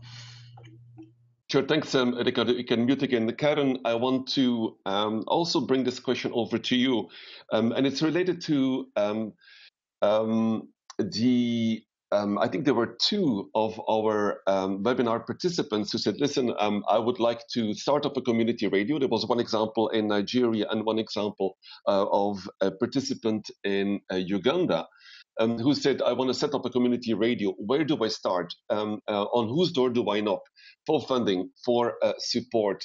Um, is it something that Farm Radio International, for instance, does? Um, or are there foundations where people can plug in? Uh, Karen, if you can unmute your audio only, go ahead, uh, Karen. Um, yeah, thanks, Peter. No, it's not really something that Farm Radio is involved in, the starting up of radio stations, because it can be you know, it can be quite complex. Usually, um, one of the key things you need is a license from the government, some kind of licensing arrangement. Um, and then, of course, you need the basic uh, equipment and so on and so forth.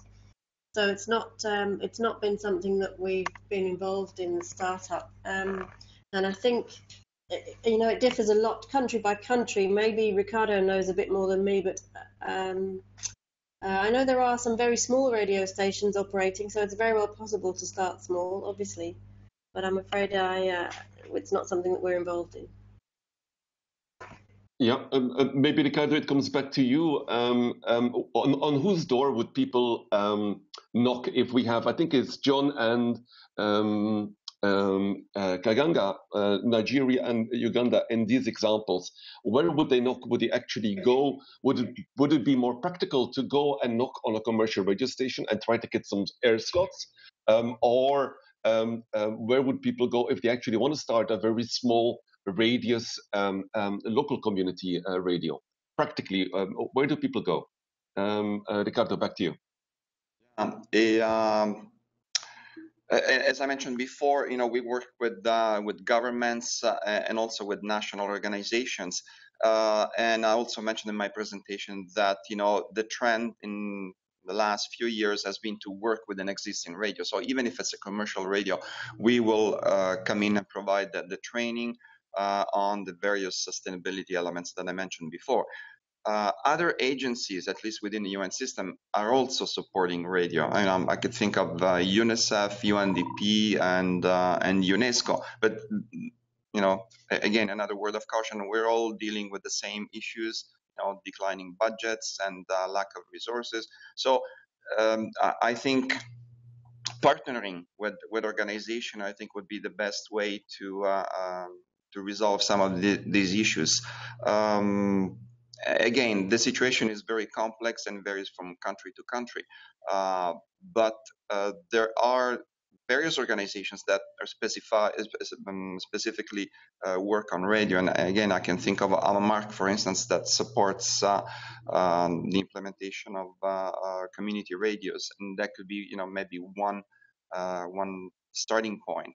Uh, and also within the governments, within governments, there is probably a possibility to uh, to find uh, an opportunity to partner with other organizations.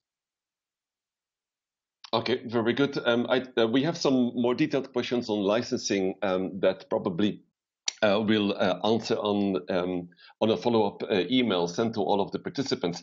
Uh, um, um, thanks, Ricardo and uh, Karen. Uh, Rainbow, a question came in for you um, from guest 18. if you can unmute um, Rainbow, you you drew a parallel in your presentation between radios and large-scale focus group discussions. Now, how do you facilitate and moderate the discussion, which is really essential for any focus group discussions, when you're dealing with such a large volume of text and audio uh, inputs? Um, Rainbow, go ahead. Thanks. Um, yeah, it's a very good question. So, firstly, I mean, one way we approach it is that we work very closely with the radio host so that they really are the, the, the facilitator of the discussion.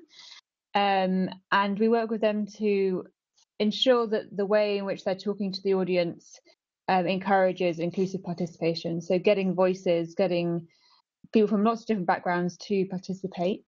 Um, on the other hand, or in parallel, we don't want to direct the conversation too much. We don't want it to be a structured conversation. We want it to go in the direction that the audience wants it to. Um, so, and for ideas to arise naturally, um, and for that conversation to be spontaneous. So, there is some curation and facilitation uh, with the host who we've worked with in advance of the radio show, um, but there is also we leave space um, and freedom for the conversation to arise. Mm-hmm. And is this um, the input that you get? Is this one way you ask questions? Um, as some of the examples you've given, um, have you vaccinated your your kids um, against polio, for instance, um, um, or is there a way that you actually could engage in in a two way conversation? Do you mean on air, like a two way conversation? Um, on air or um, the use of other technologies, text messages. Um, yeah. Um, yeah. Yeah. So, yeah, the ways in which we would have that dialogue with between the radio host and the audience um, would be so the text messages that come in from that initial open-ended radio question that's read out by the host. Um, we include as many of those responses as we can in the radio show so that the audience can hear their responses as an additional motivation to participate and it also encourages others who are now hearing voices like them. They might hear or not you know they're, they're, they're hearing messages rather than you know actual audio voices. Um, but they're hearing messages from people like them. Perhaps you might even recognize messages from their neighbors. And then we follow that up with the sms communication. So for everyone that's participated spontaneously that will also receive that follow-up text message in which we're engaging with them and asking questions. Um, and sometimes, mostly that is to gather additional information, but it can also be to give them information on a particular topic and follow up with them. And we use that channel to, so with a with a series of radio shows that's ongoing over several weeks, we're all continuously building up that database um, of people that are interested in that topic. So each time there's a new radio show, we can let them know about it in advance. We can encourage them to participate um, and get that conversation going. Okay, um, excellent. Um, uh, thanks, um, uh, Rainbow. Uh, Lucky, if uh, the next one is for you, if you can unmute uh, Lucky. Um, the question came from um, Olivia. yeah. Uh, yeah. She said, "Well, I like the strategies you are using." Um, and so just in motivating uh, youth to uh, consider agriculture. Um, yep. Now, how do you yep. also help youth to be aware of non-man-made uh, challenges uh, like climate change and how they might affect uh, and affect uh, youth participation in agriculture?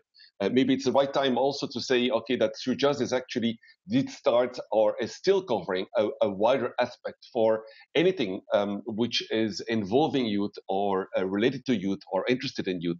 Uh, Lucky, go ahead.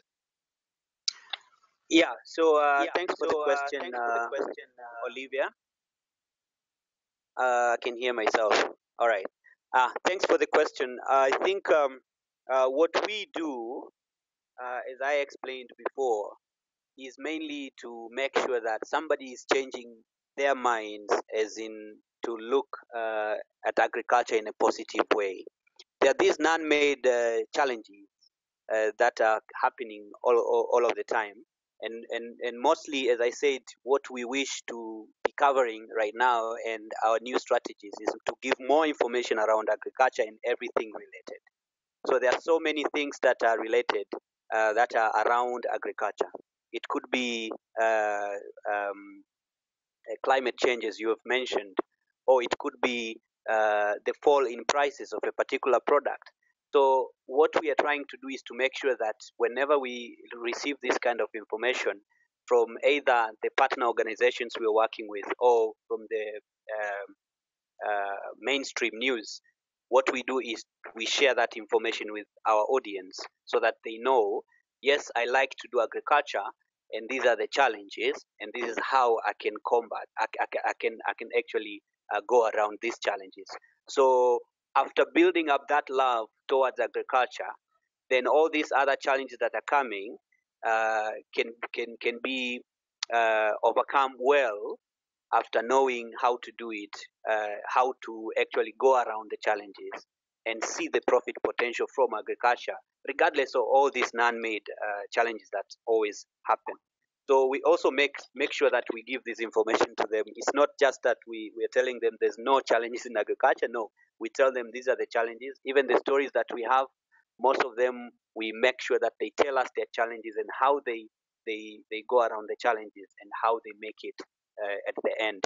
So our stories uh, involve motivations, involve um, information, and uh, everything else that is in, uh, that, that is related to that particular topic.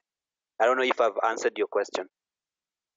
Yeah, and then uh, the, the topics that you want to cover is this um, are you trying to focus on real practical uh, issues, like you give examples of impact stories or um, how a person is using agriculture? How do you tackle the, the wider issues, such as, for instance, uh, climate change and the effect of climate change in agriculture? Uh, or do you uh, go and take specific examples of people and how they're dealing yeah. with it? So, yeah. how do you deal with generic um, uh, issues? So, as I said before, we give a lot of information to our fans. We make sure that they are they are aware of all these challenges around, and also we create conversations. We are not experts. We are just a media production house, and we make sure that these young people who are following us, they are there to listen to us and hear whatever is happening uh, on a particular uh, area or a particular sector. So if it's about agriculture, we make sure that they know everything around agriculture, and we also welcome a lot of other experts. So in our uh, in our shows, almost every week we have somebody um, as an expert to give that technical information, uh, and also to give this information around all these um, challenges that are happening and how to actually overcome the challenges. So giving more information and also inviting uh, uh, a lot of experts to, to, to deal with these generic challenges that are happening in agriculture sector. Um, and uh, good enough is we, we are working with a lot of other organizations uh, um, which, which, which have all this information that we need. So most of the times we make sure that we are together, we work together with these other organizations. If we have, we, if we're getting technical questions, we ask them and we share this information back. And mainly we keep creating this conversation going around our social media and our feedback channels. And sometimes we get um, answers from the fans themselves. So for example, if uh, a fan from this particular area has uh, faced this particular challenge and they post on our social media and somebody else from the other area just said like i had the same kind of challenge and i, I and i faced it this way. So we tell that story those stories uh, through our media and through that the fans get to know how to do and what to do where. And if they have more questions then we invite these experts and they give information towards all these challenges and how to do what at what time yeah, so I, I, guess the probably the, the, the key factor and probably the the key success factor also of uh, Shujaaz is to, to keep it real, to keep um, you know put the, vo- the, yes. the voices of the individuals yes. in there, be it the public, um, um, you know, or different uh, fictional uh, characters. Um, um, yes, thank you. To make programs, mm. not programs on generic issues, but put the, the practical uh, uh, um, uh, faces in there. Yes. So we have all these case studies. So when we tell the story, it's not just our characters. So our characters have been made. We we have created these characters uh, to represent a particular uh, to to to present the youth. So they are youth of different kind, and our characters are, are uh, of different kind as well. And through these characters, the fans uh, uh, grow the trust, you know, so, for example, uh, DJT and DJB uh, in Kenya and Tanzania, we've been getting a lot of other questions which cannot be actually aired through other channels, or you you know you find some young people can't even ask their parents, but they come and ask DJT or they come and ask DJB. So they also have this trust uh, towards the characters. So these characters have been built. Uh, they have these diverse characteristics so that every young people in East Africa can see themselves in, in one or two, or two uh, or all of the characters somehow. And then uh, through these characters, we also tell the real life stories. So we have we are, we are featuring a lot of real life case studies uh, the ones that I've given examples uh, um, from my presentation, and we have a lot of other uh, case studies that we can share uh, that we are telling their stories, and a lot of other young people can actually see themselves within these case studies, the real life case studies, and start doing something. Yeah. Excellent. Uh, thanks, Lucky. I'm switching over to Karen. Uh, Karen, if you could unmute. Um, it's, I would like to, to, to go further on your experience um, with uh, trying to bring programs where you want to transfer knowledge um, um, particularly in your area, let's say the farming community. Um, are, are, there secret uh, formula of success? Um, like Shujaaz, do you put the faces in there? Do you give the, the examples, um, the impact stories or the success stories? what is your uh, share your, your secret of success of bringing a topic which is a more generic topic uh, to the farming community? Okay. well, there's there's kind of no one secret. It's it's probably a formula, and different types of formula will work in different countries. But I think some of the key things that we have used before are to have um, a core story, what we call a core story. So we will try to follow one farmer through throughout the season or throughout um, the activities that we're that we're discussing, for example. Um, you know, we'll check in with them every couple of weeks, see what's happening, um, it can either be sort of live or it can be a story that, of a farmer and um, how they operated in the previous season, for example. Um, the key thing is to keep it entertaining. I remember Ricardo's presentation mentioned uh, it being entertaining. So, you know, sometimes uh, ideas like fertilizer application rates, they're not very entertaining. So we have to have a, you know, we have to, as communications experts, we have to find a way to keep that content um, interesting and keep people focused. So a key way to do that is to share experiences and share stories. But also there's the idea of drama. You know, we've done um, quite a lot of drama programs uh, to try and reach women, to try and keep it entertaining. Um, you know, because people will listen to it for the for the drama value, but they and they don't realise they're learning at the time. So um, I think the interaction helps as well. Being able to ask a question and have it answered on the radio is, is for a lot of people that's quite an amazing thing. So, you know, it's a combination of different things. It's about being creative. It's about using characters and stories. I think. Yeah, which relates to, to, to the question also that Lancelot uh, asked, um, um, you know, what are the keys for a, a success for our popular uh, community radio? And, and as you said, it's, it's, a combination of different things. Uh, the topic, um, as Lancelot said, um, um, the um, the quality of the presenter probably uh, keeping it entertained uh, probably also the way giving the opportunity to interact. That would be a major factor also karen no? Yes. Yes exactly. Exactly. Especially with community radios um, and getting the presenters out to talk to the farmers and to gather interviews, record interviews, and take them back to the studio. You know, it's it's really interesting when you when you visit with a presenter and he open he or she opens their mouth and suddenly people realise they know the voice, but they've never met the person before.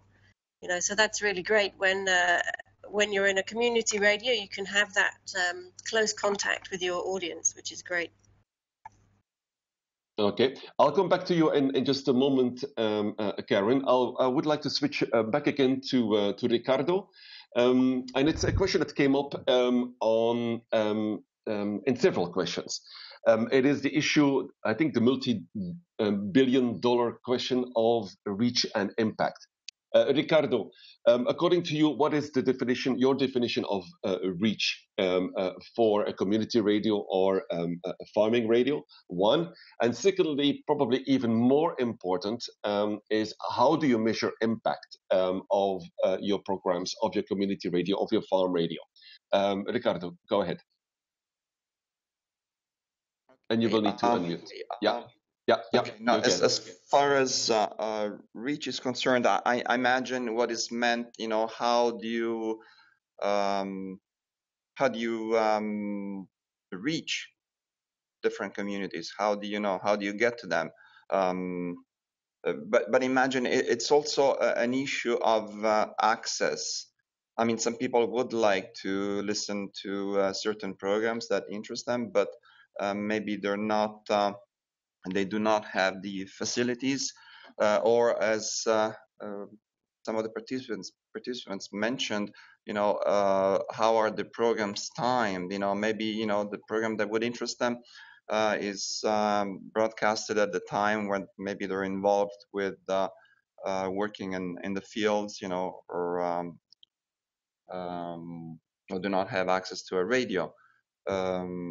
Access, for instance, uh, at least from our experience, is also uh, with regards to issues of gender. Uh, sometimes the, the radio, the receiver is usually owned and used by mm, one member of the uh, the household, usually the man. So um, women sometimes are excluded or do not have the opportunity to uh, to use this medium.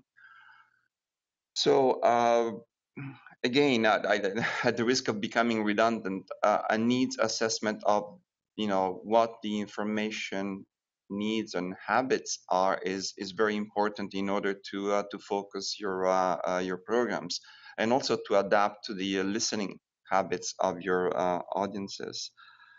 Um, sorry, I, I, forgot your second your second question. It's, it's on on it's it's on on impact. So you have reach, um, um, yes, okay. which you clarify. It's not just the amount of people that you reach, but it's also are those people part of your target audience? Um, uh, you know, so it's more the quality reach um, uh, rather than a global uh, number of people who have listened, because they might not be your target uh, audience. Mm-hmm. But yes. then going in yes. impact um, um, for the programs that we bring.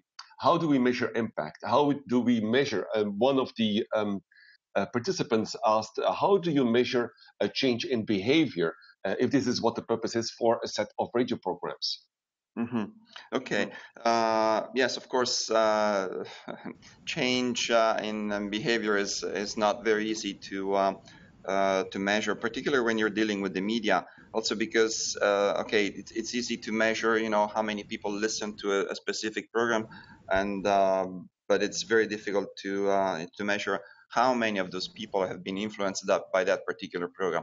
Also, let's not forget that with the media, uh, we do not um, we do not have the tools to measure impact immediately. Um, change is usually measured over a certain period of time, and this time sometimes could even be years. Um, so yeah. Could I, could not... I speak that a bit, Peter? Yeah, go ahead. Go ahead, Karen. Um, um, Ricardo. Um, uh, Uh, just a second, Ricardo. Can you can you after uh, you? I would like to switch back to Karen. Sure, uh, go sure, ahead, Ricardo. Go ahead. Okay, Karen, it's all yours.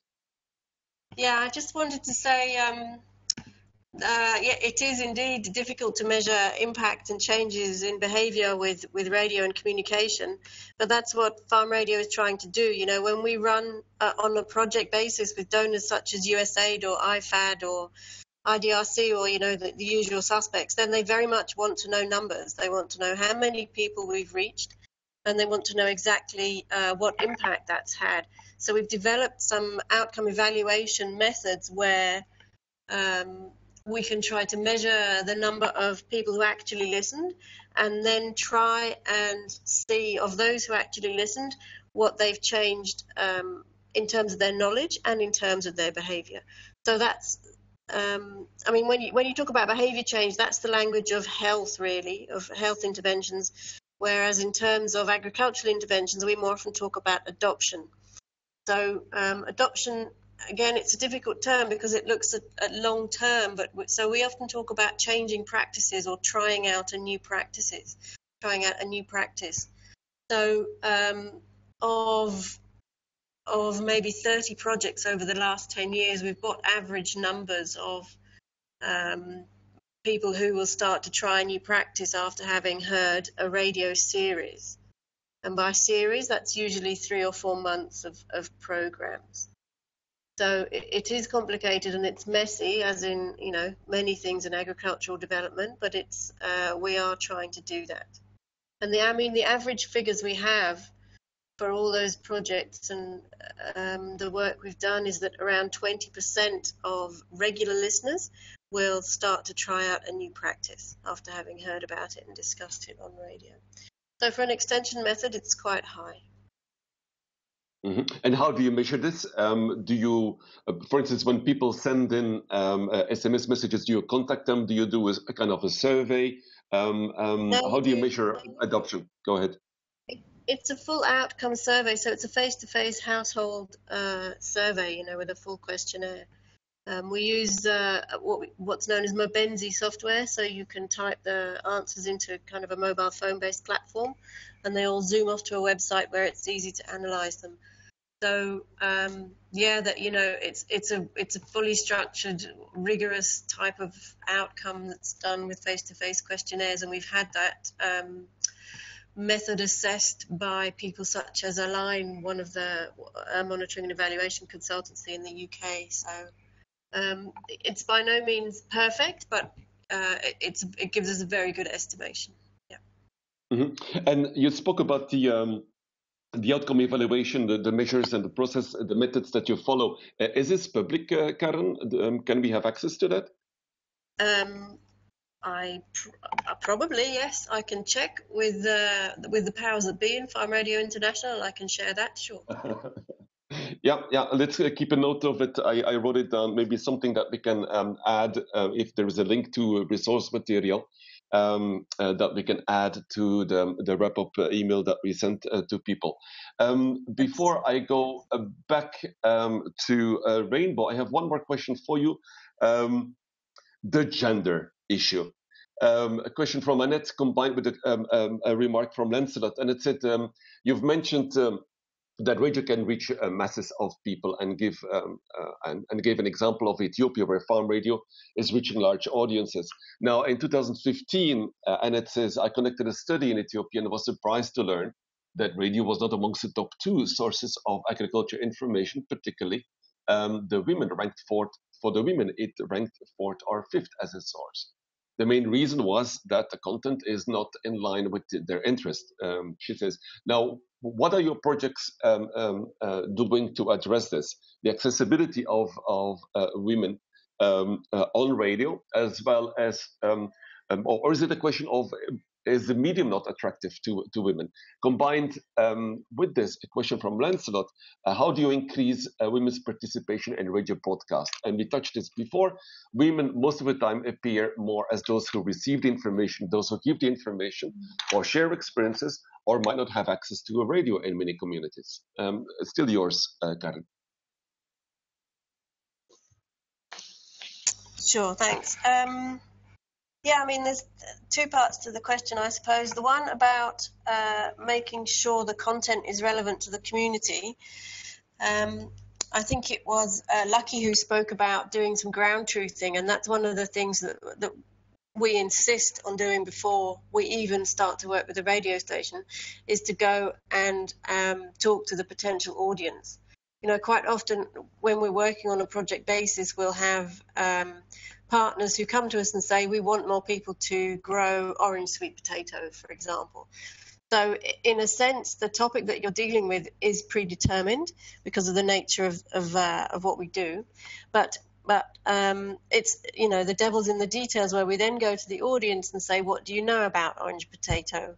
Um, is it good for you? How do you grow it? Where do you get the vines? And all the detail about agronomy and so on and so on, so that then we make sure that the, the content can be tailored to the audience in that sense. Um, I think the second part of the question was about women.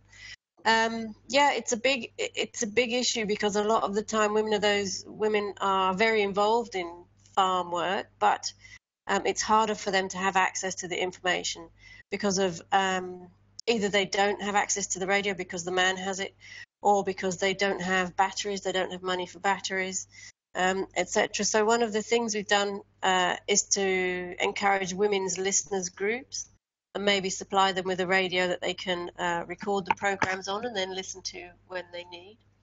We've also experimented with things like women's hotlines, so a call-in number for women only. So you know, often if women can't get through, they'll give up but um, if a man gets through, he may well keep trying. So we've we've experimented with those, um, and we've also run some what we call her farm radio projects, where we've given the broadcasters gender awareness trainings, and um, we've had a, we've had the weekly interactivity question focused on a gender issue. So rather than saying um, what kind of weeding do you do, we would say who is doing the weeding this week. So that then it would bring up, um, you know, some some women focused or some gender focused issues for discussion. So in that way, that that tends to bring women into the program a little bit more. And also um, drama. Women love tend to tend to react really well to the drama. So that's another that's another method of reaching out.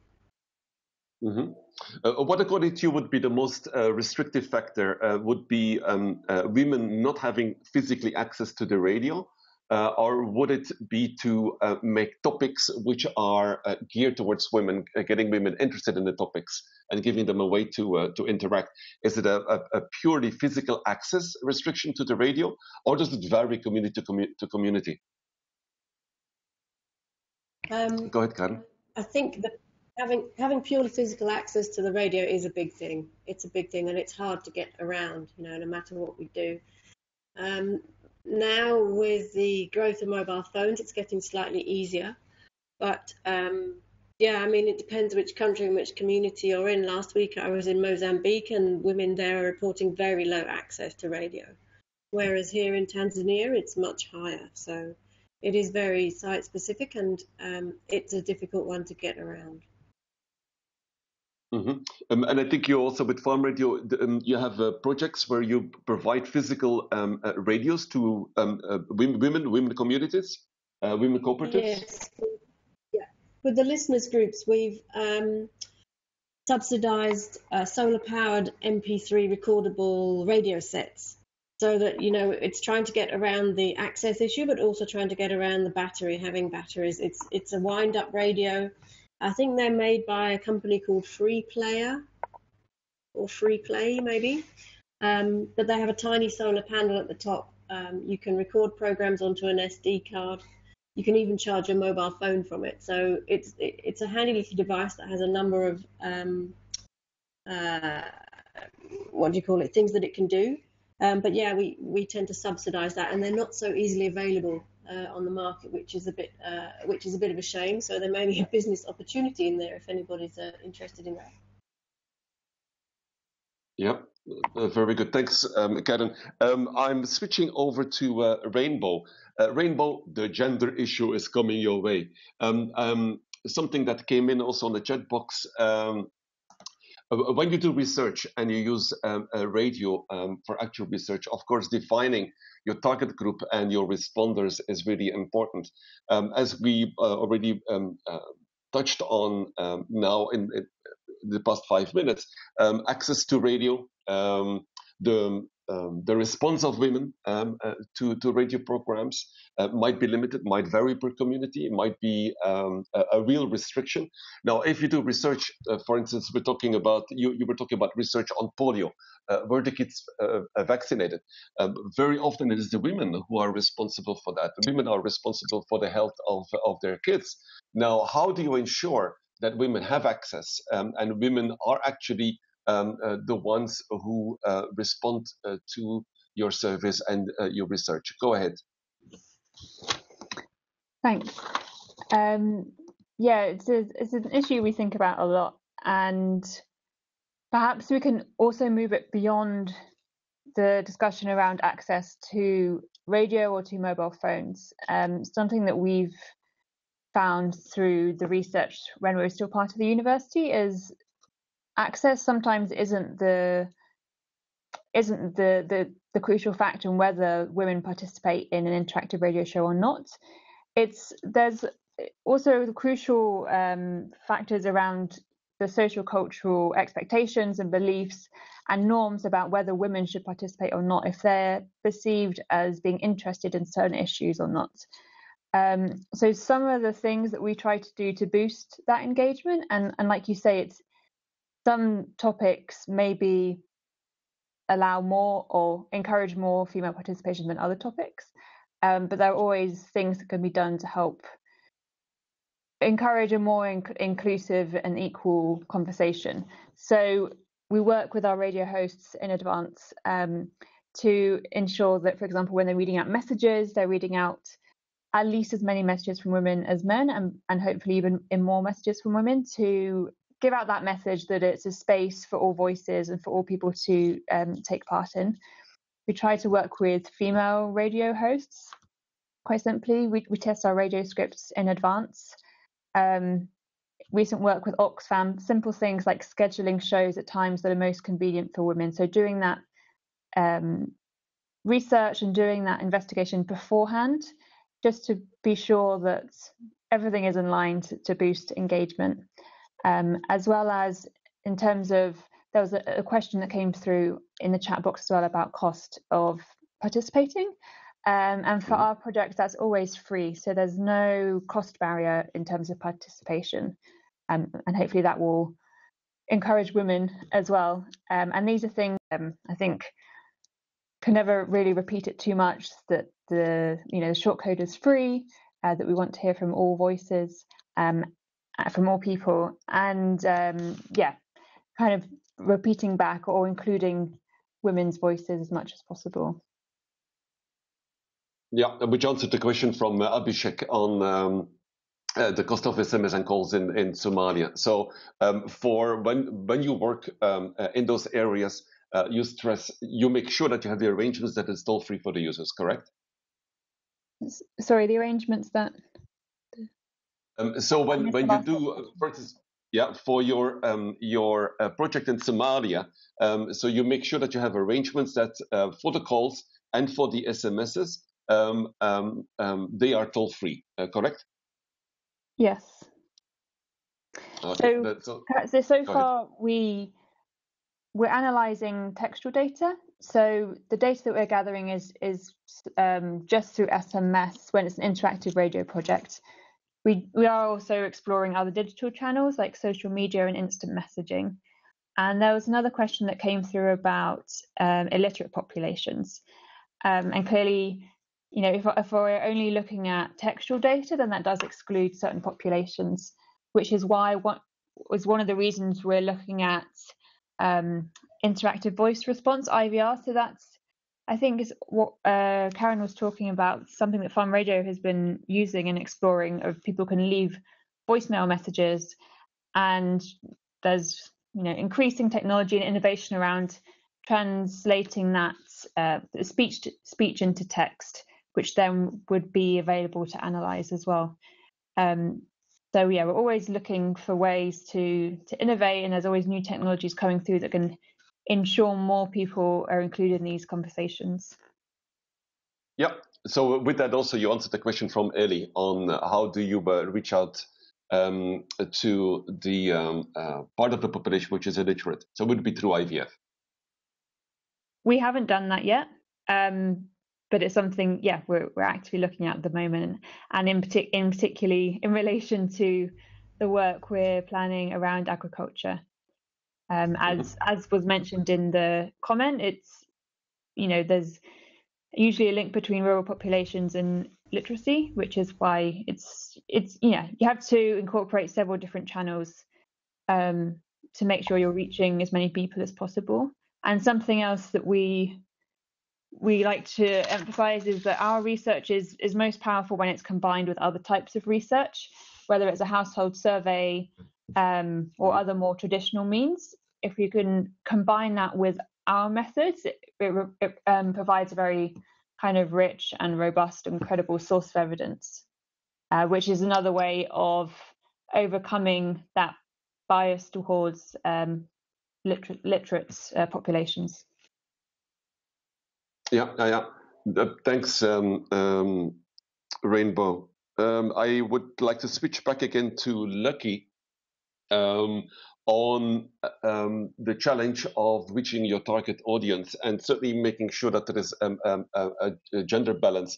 In your work in Tanzania with Shujaaz in Tanzania and Kenya, um, uh, Shujaaz, or in your past experience beyond Shujaaz, um, uh, uh, what was your experience in, in um, uh, one making sure that um, uh, women have access um, to the radio or the medium that you're using. And secondly that they're also um, the ones um, who have the opportunity to respond. Uh, something specifically uh, you want to share in your experience? Yeah. So the experience that we have been experiencing is um, so women or girls, I would say, uh, they're not as active as men uh, or boys uh, towards the media. So even when you put a call out on a radio show or uh, through the comic or even on social media, you get a huge percent of, of boys responding uh, and girls are not responding. So what we have been doing uh, to make sure that we at least have the gender balance is uh, to first of all we, we we we as I said we have um, created the characters uh, according to the behaviors and uh, the dynamics in the communities. So we have very powerful uh, girl characters uh, through our media, especially on the comic stories. So we're using that girl character, those girl characters who are very powerful to talk to girls and uh, make them active, responding, uh, joining the conversations around different kind of topics. So that's one uh, using our characters to make sure that they they uh, spark that conversation among girls and to make them actually engage on something. Uh, but also we we have always made sure that we balance the success stories. So when we tell the stories on, on radio, if you're listening to our radio show today, and we have two stories, one should be from a girl and the other one should be from a boy. So we, we're trying to balance that as much as we can to make sure that even girls themselves, they see that other girls are doing uh, something and are engaging in this particular issue. If it's agriculture, they're engaging in agriculture but also we have been having specific content for a specific target group. So uh, let me get you back uh, a bit. I, uh, you remember uh, during my presentation, I, I gave an example of this girl from Mbeya called Esther. So through Esther, we learned something that most rural girls they have land. In fact, they do have land, and they've been gi- they, they're giving uh, they're given this land by their families to grow food for their families. So through that insight, we decided to to give information around how to utilize your land as a girl in the village to earn more money, not necessarily to make food for the family, but also to make more money for yourself and to achieve your dreams. So by insights like that, we make sure that we we uh, we encourage a particular target group to now start seeing opportunities around whatever they have. So that's another intervention that we're doing to make sure that we balance and and and, and uh, the gender. But also we have been doing segmentation uh, through our research activities. So we have girl segments, we have boy segments in different kind of topics. So if it's about agriculture, we have segments for girls. There are rural girls, there are urban girls, there are this kind of girls, there are this kind of girls in, in this particular situation.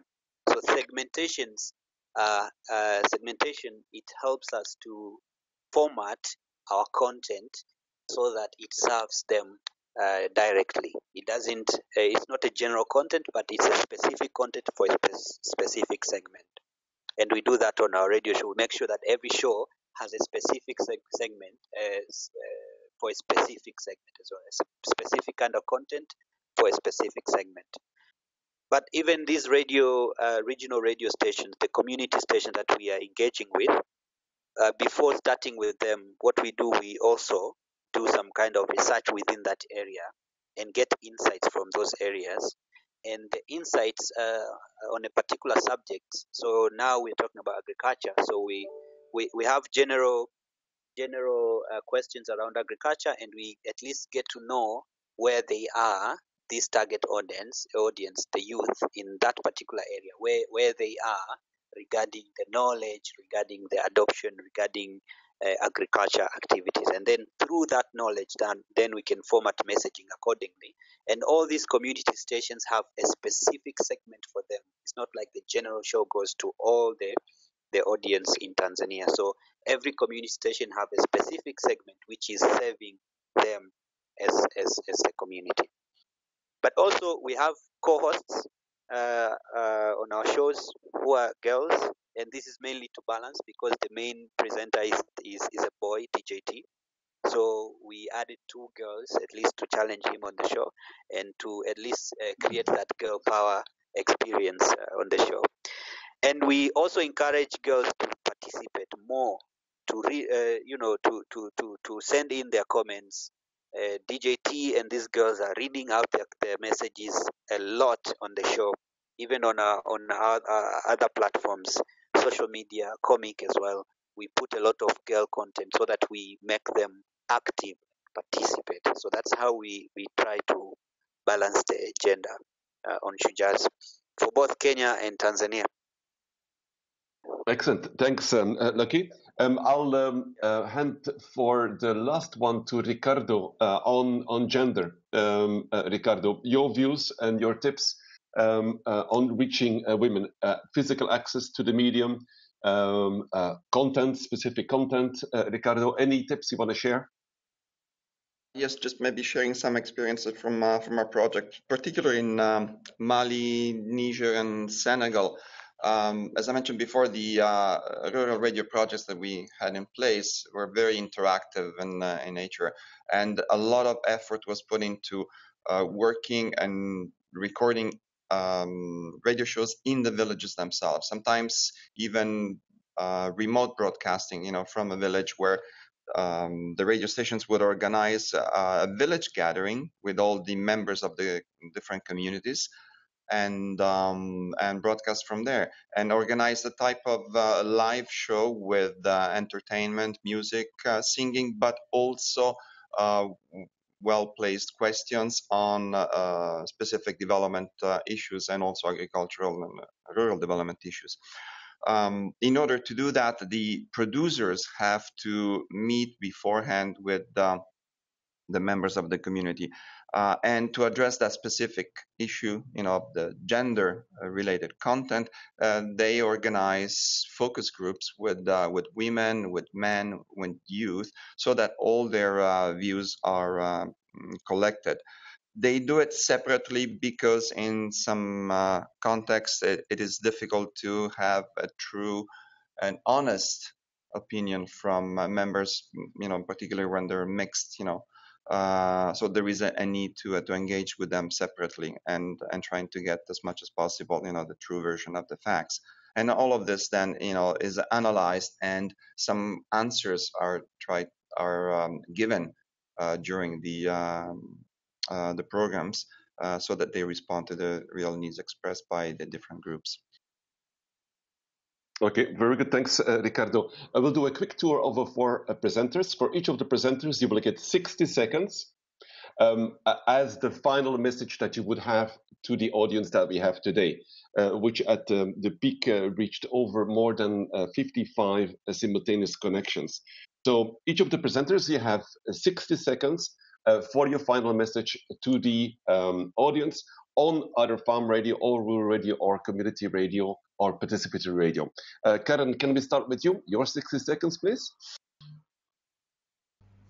Thanks, Peter. Yeah, I mean, I'd just like to say that um, I'd like to see more people using radio for uh, for reaching out to populations, and um, uh, just in general, I think it's a very much underused method, especially now that there are so many other, you know, ICTs and mobile phone tools that we can add in. So um, I just want to encourage its use. And if anybody wants to discuss further, I'd be very happy to answer emails or, or have a Skype call.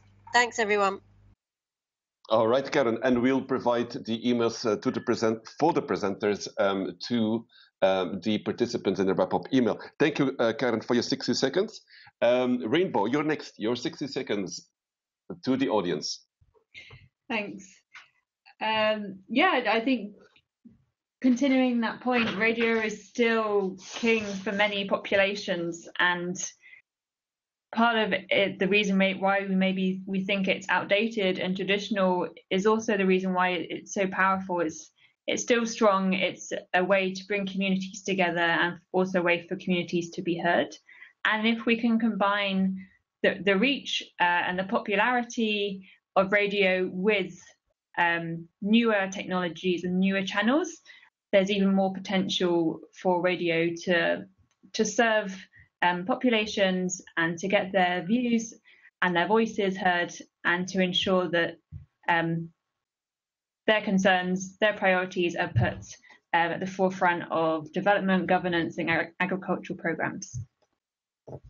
Excellent, thank you. Um, Lucky, Lucky, your 60 seconds of wisdom, last message to the audience. Go ahead, Lucky.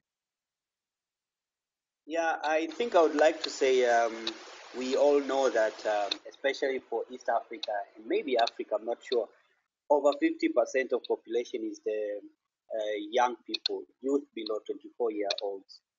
So, and these are the major, uh, it's the big part of the radio listeners. So these are the people who are actually listening to the radio.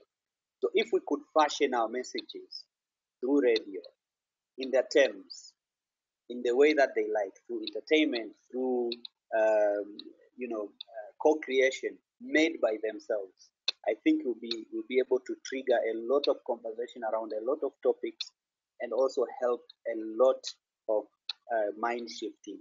So we, have been talking about how to change behavior, behaviors, how to you know shift minds, and to measure all the impact, etc., etc. I think if we could focus on this uh, particular group of young people, and then fashion the messages in their terms, in their way, uh, the way they like it, I think we'll be able to capture them and listen and actually do something. So thanks for, for, for the opportunity as well. Um, and I would, I would, um, I'll, I'll hap- happily uh, respond to all the questions uh, after this uh, through my email. Thank you. Thank you, um, Lucky. Um, Ricardo, over to you for your last final 60 seconds of wisdom. Sure, thank you. Uh, yes, I not agree more with um, the colleagues who have uh, talked before me. Uh, yes, there is a need to support uh, community rural radio. Uh, in order to do that, we have to find synergies. Uh, as I mentioned before, um, there are declining budgets everywhere in most donor organizations, but uh, there are a lot of organizations who are interested in this or that aspect of uh, community uh, radio. So whether it's programming, whether it's the equipment, uh, what is the training, uh, we have to find ways to network together and find those synergies. Training is also important. Um, there, there needs to be uh, a lot more training for community radio broadcasters because they have uh, a lot of uh, tasks to accomplish um, not just technical, uh, but of contact, uh, of uh, social uh, social inquiry tools. So you know they need uh, to be trained. And one last thing on ICTs and rural radio, uh, ICTs have brought down the costs of the equipment. But there are also higher challenges. there is more, the equipment is more fragile, so we have to find very creative solutions on how to use them uh, illiteracy barriers, uh, not just in terms um, in the um, you know in, in, in using in um, uh, writing uh, skills, but also in the use of the technology. And this where, uh, as Lucky mentioned, the youth can come in and help us a lot. So let's uh, attract the youth um, and make radio more of a, a, useful tool for them. Thank you. All right, excellent. Thanks, Ricardo. Um, by this, we're closing off on the webinar. I would um, like to thank again uh, Ricardo, uh, Karen, Rainbow, and uh, Lucky, uh, as well as uh, Amy, um, being the person behind the uh, buttons today on the slides and um, the mute management. we thank you all very much. To you, the audience, I almost feel like I'm in a radio show here. to you, the audience on our webinar.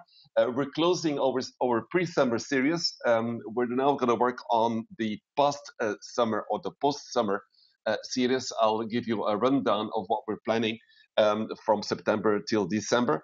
We have one last, uh, for this season, last webinar, not on communications, but on core agriculture uh, topics on agriculture and foresight. Um, uh, within 14 days, I'll send you details in a wrap-up email. The next thing you will hear from us is you will get a wrap-up email with the uh, link um, to the webinar recording, which you can freely share with uh, colleagues and, and, and friends, people who are interested. Um, you will get a link to the, uh, the presentation material. Um, and then we'll need about a week to work with the presenters on a number of questions which we were not able to answer during the webinar itself. Uh, with this, thanks again um, to join us in this uh, webinar, which was GFAR coordinated, but uh, together with uh, our partners and affiliated uh, organizations. Thank you again. Thank you all. And uh, we'll see you next time. We'll be in touch. Thank you very much.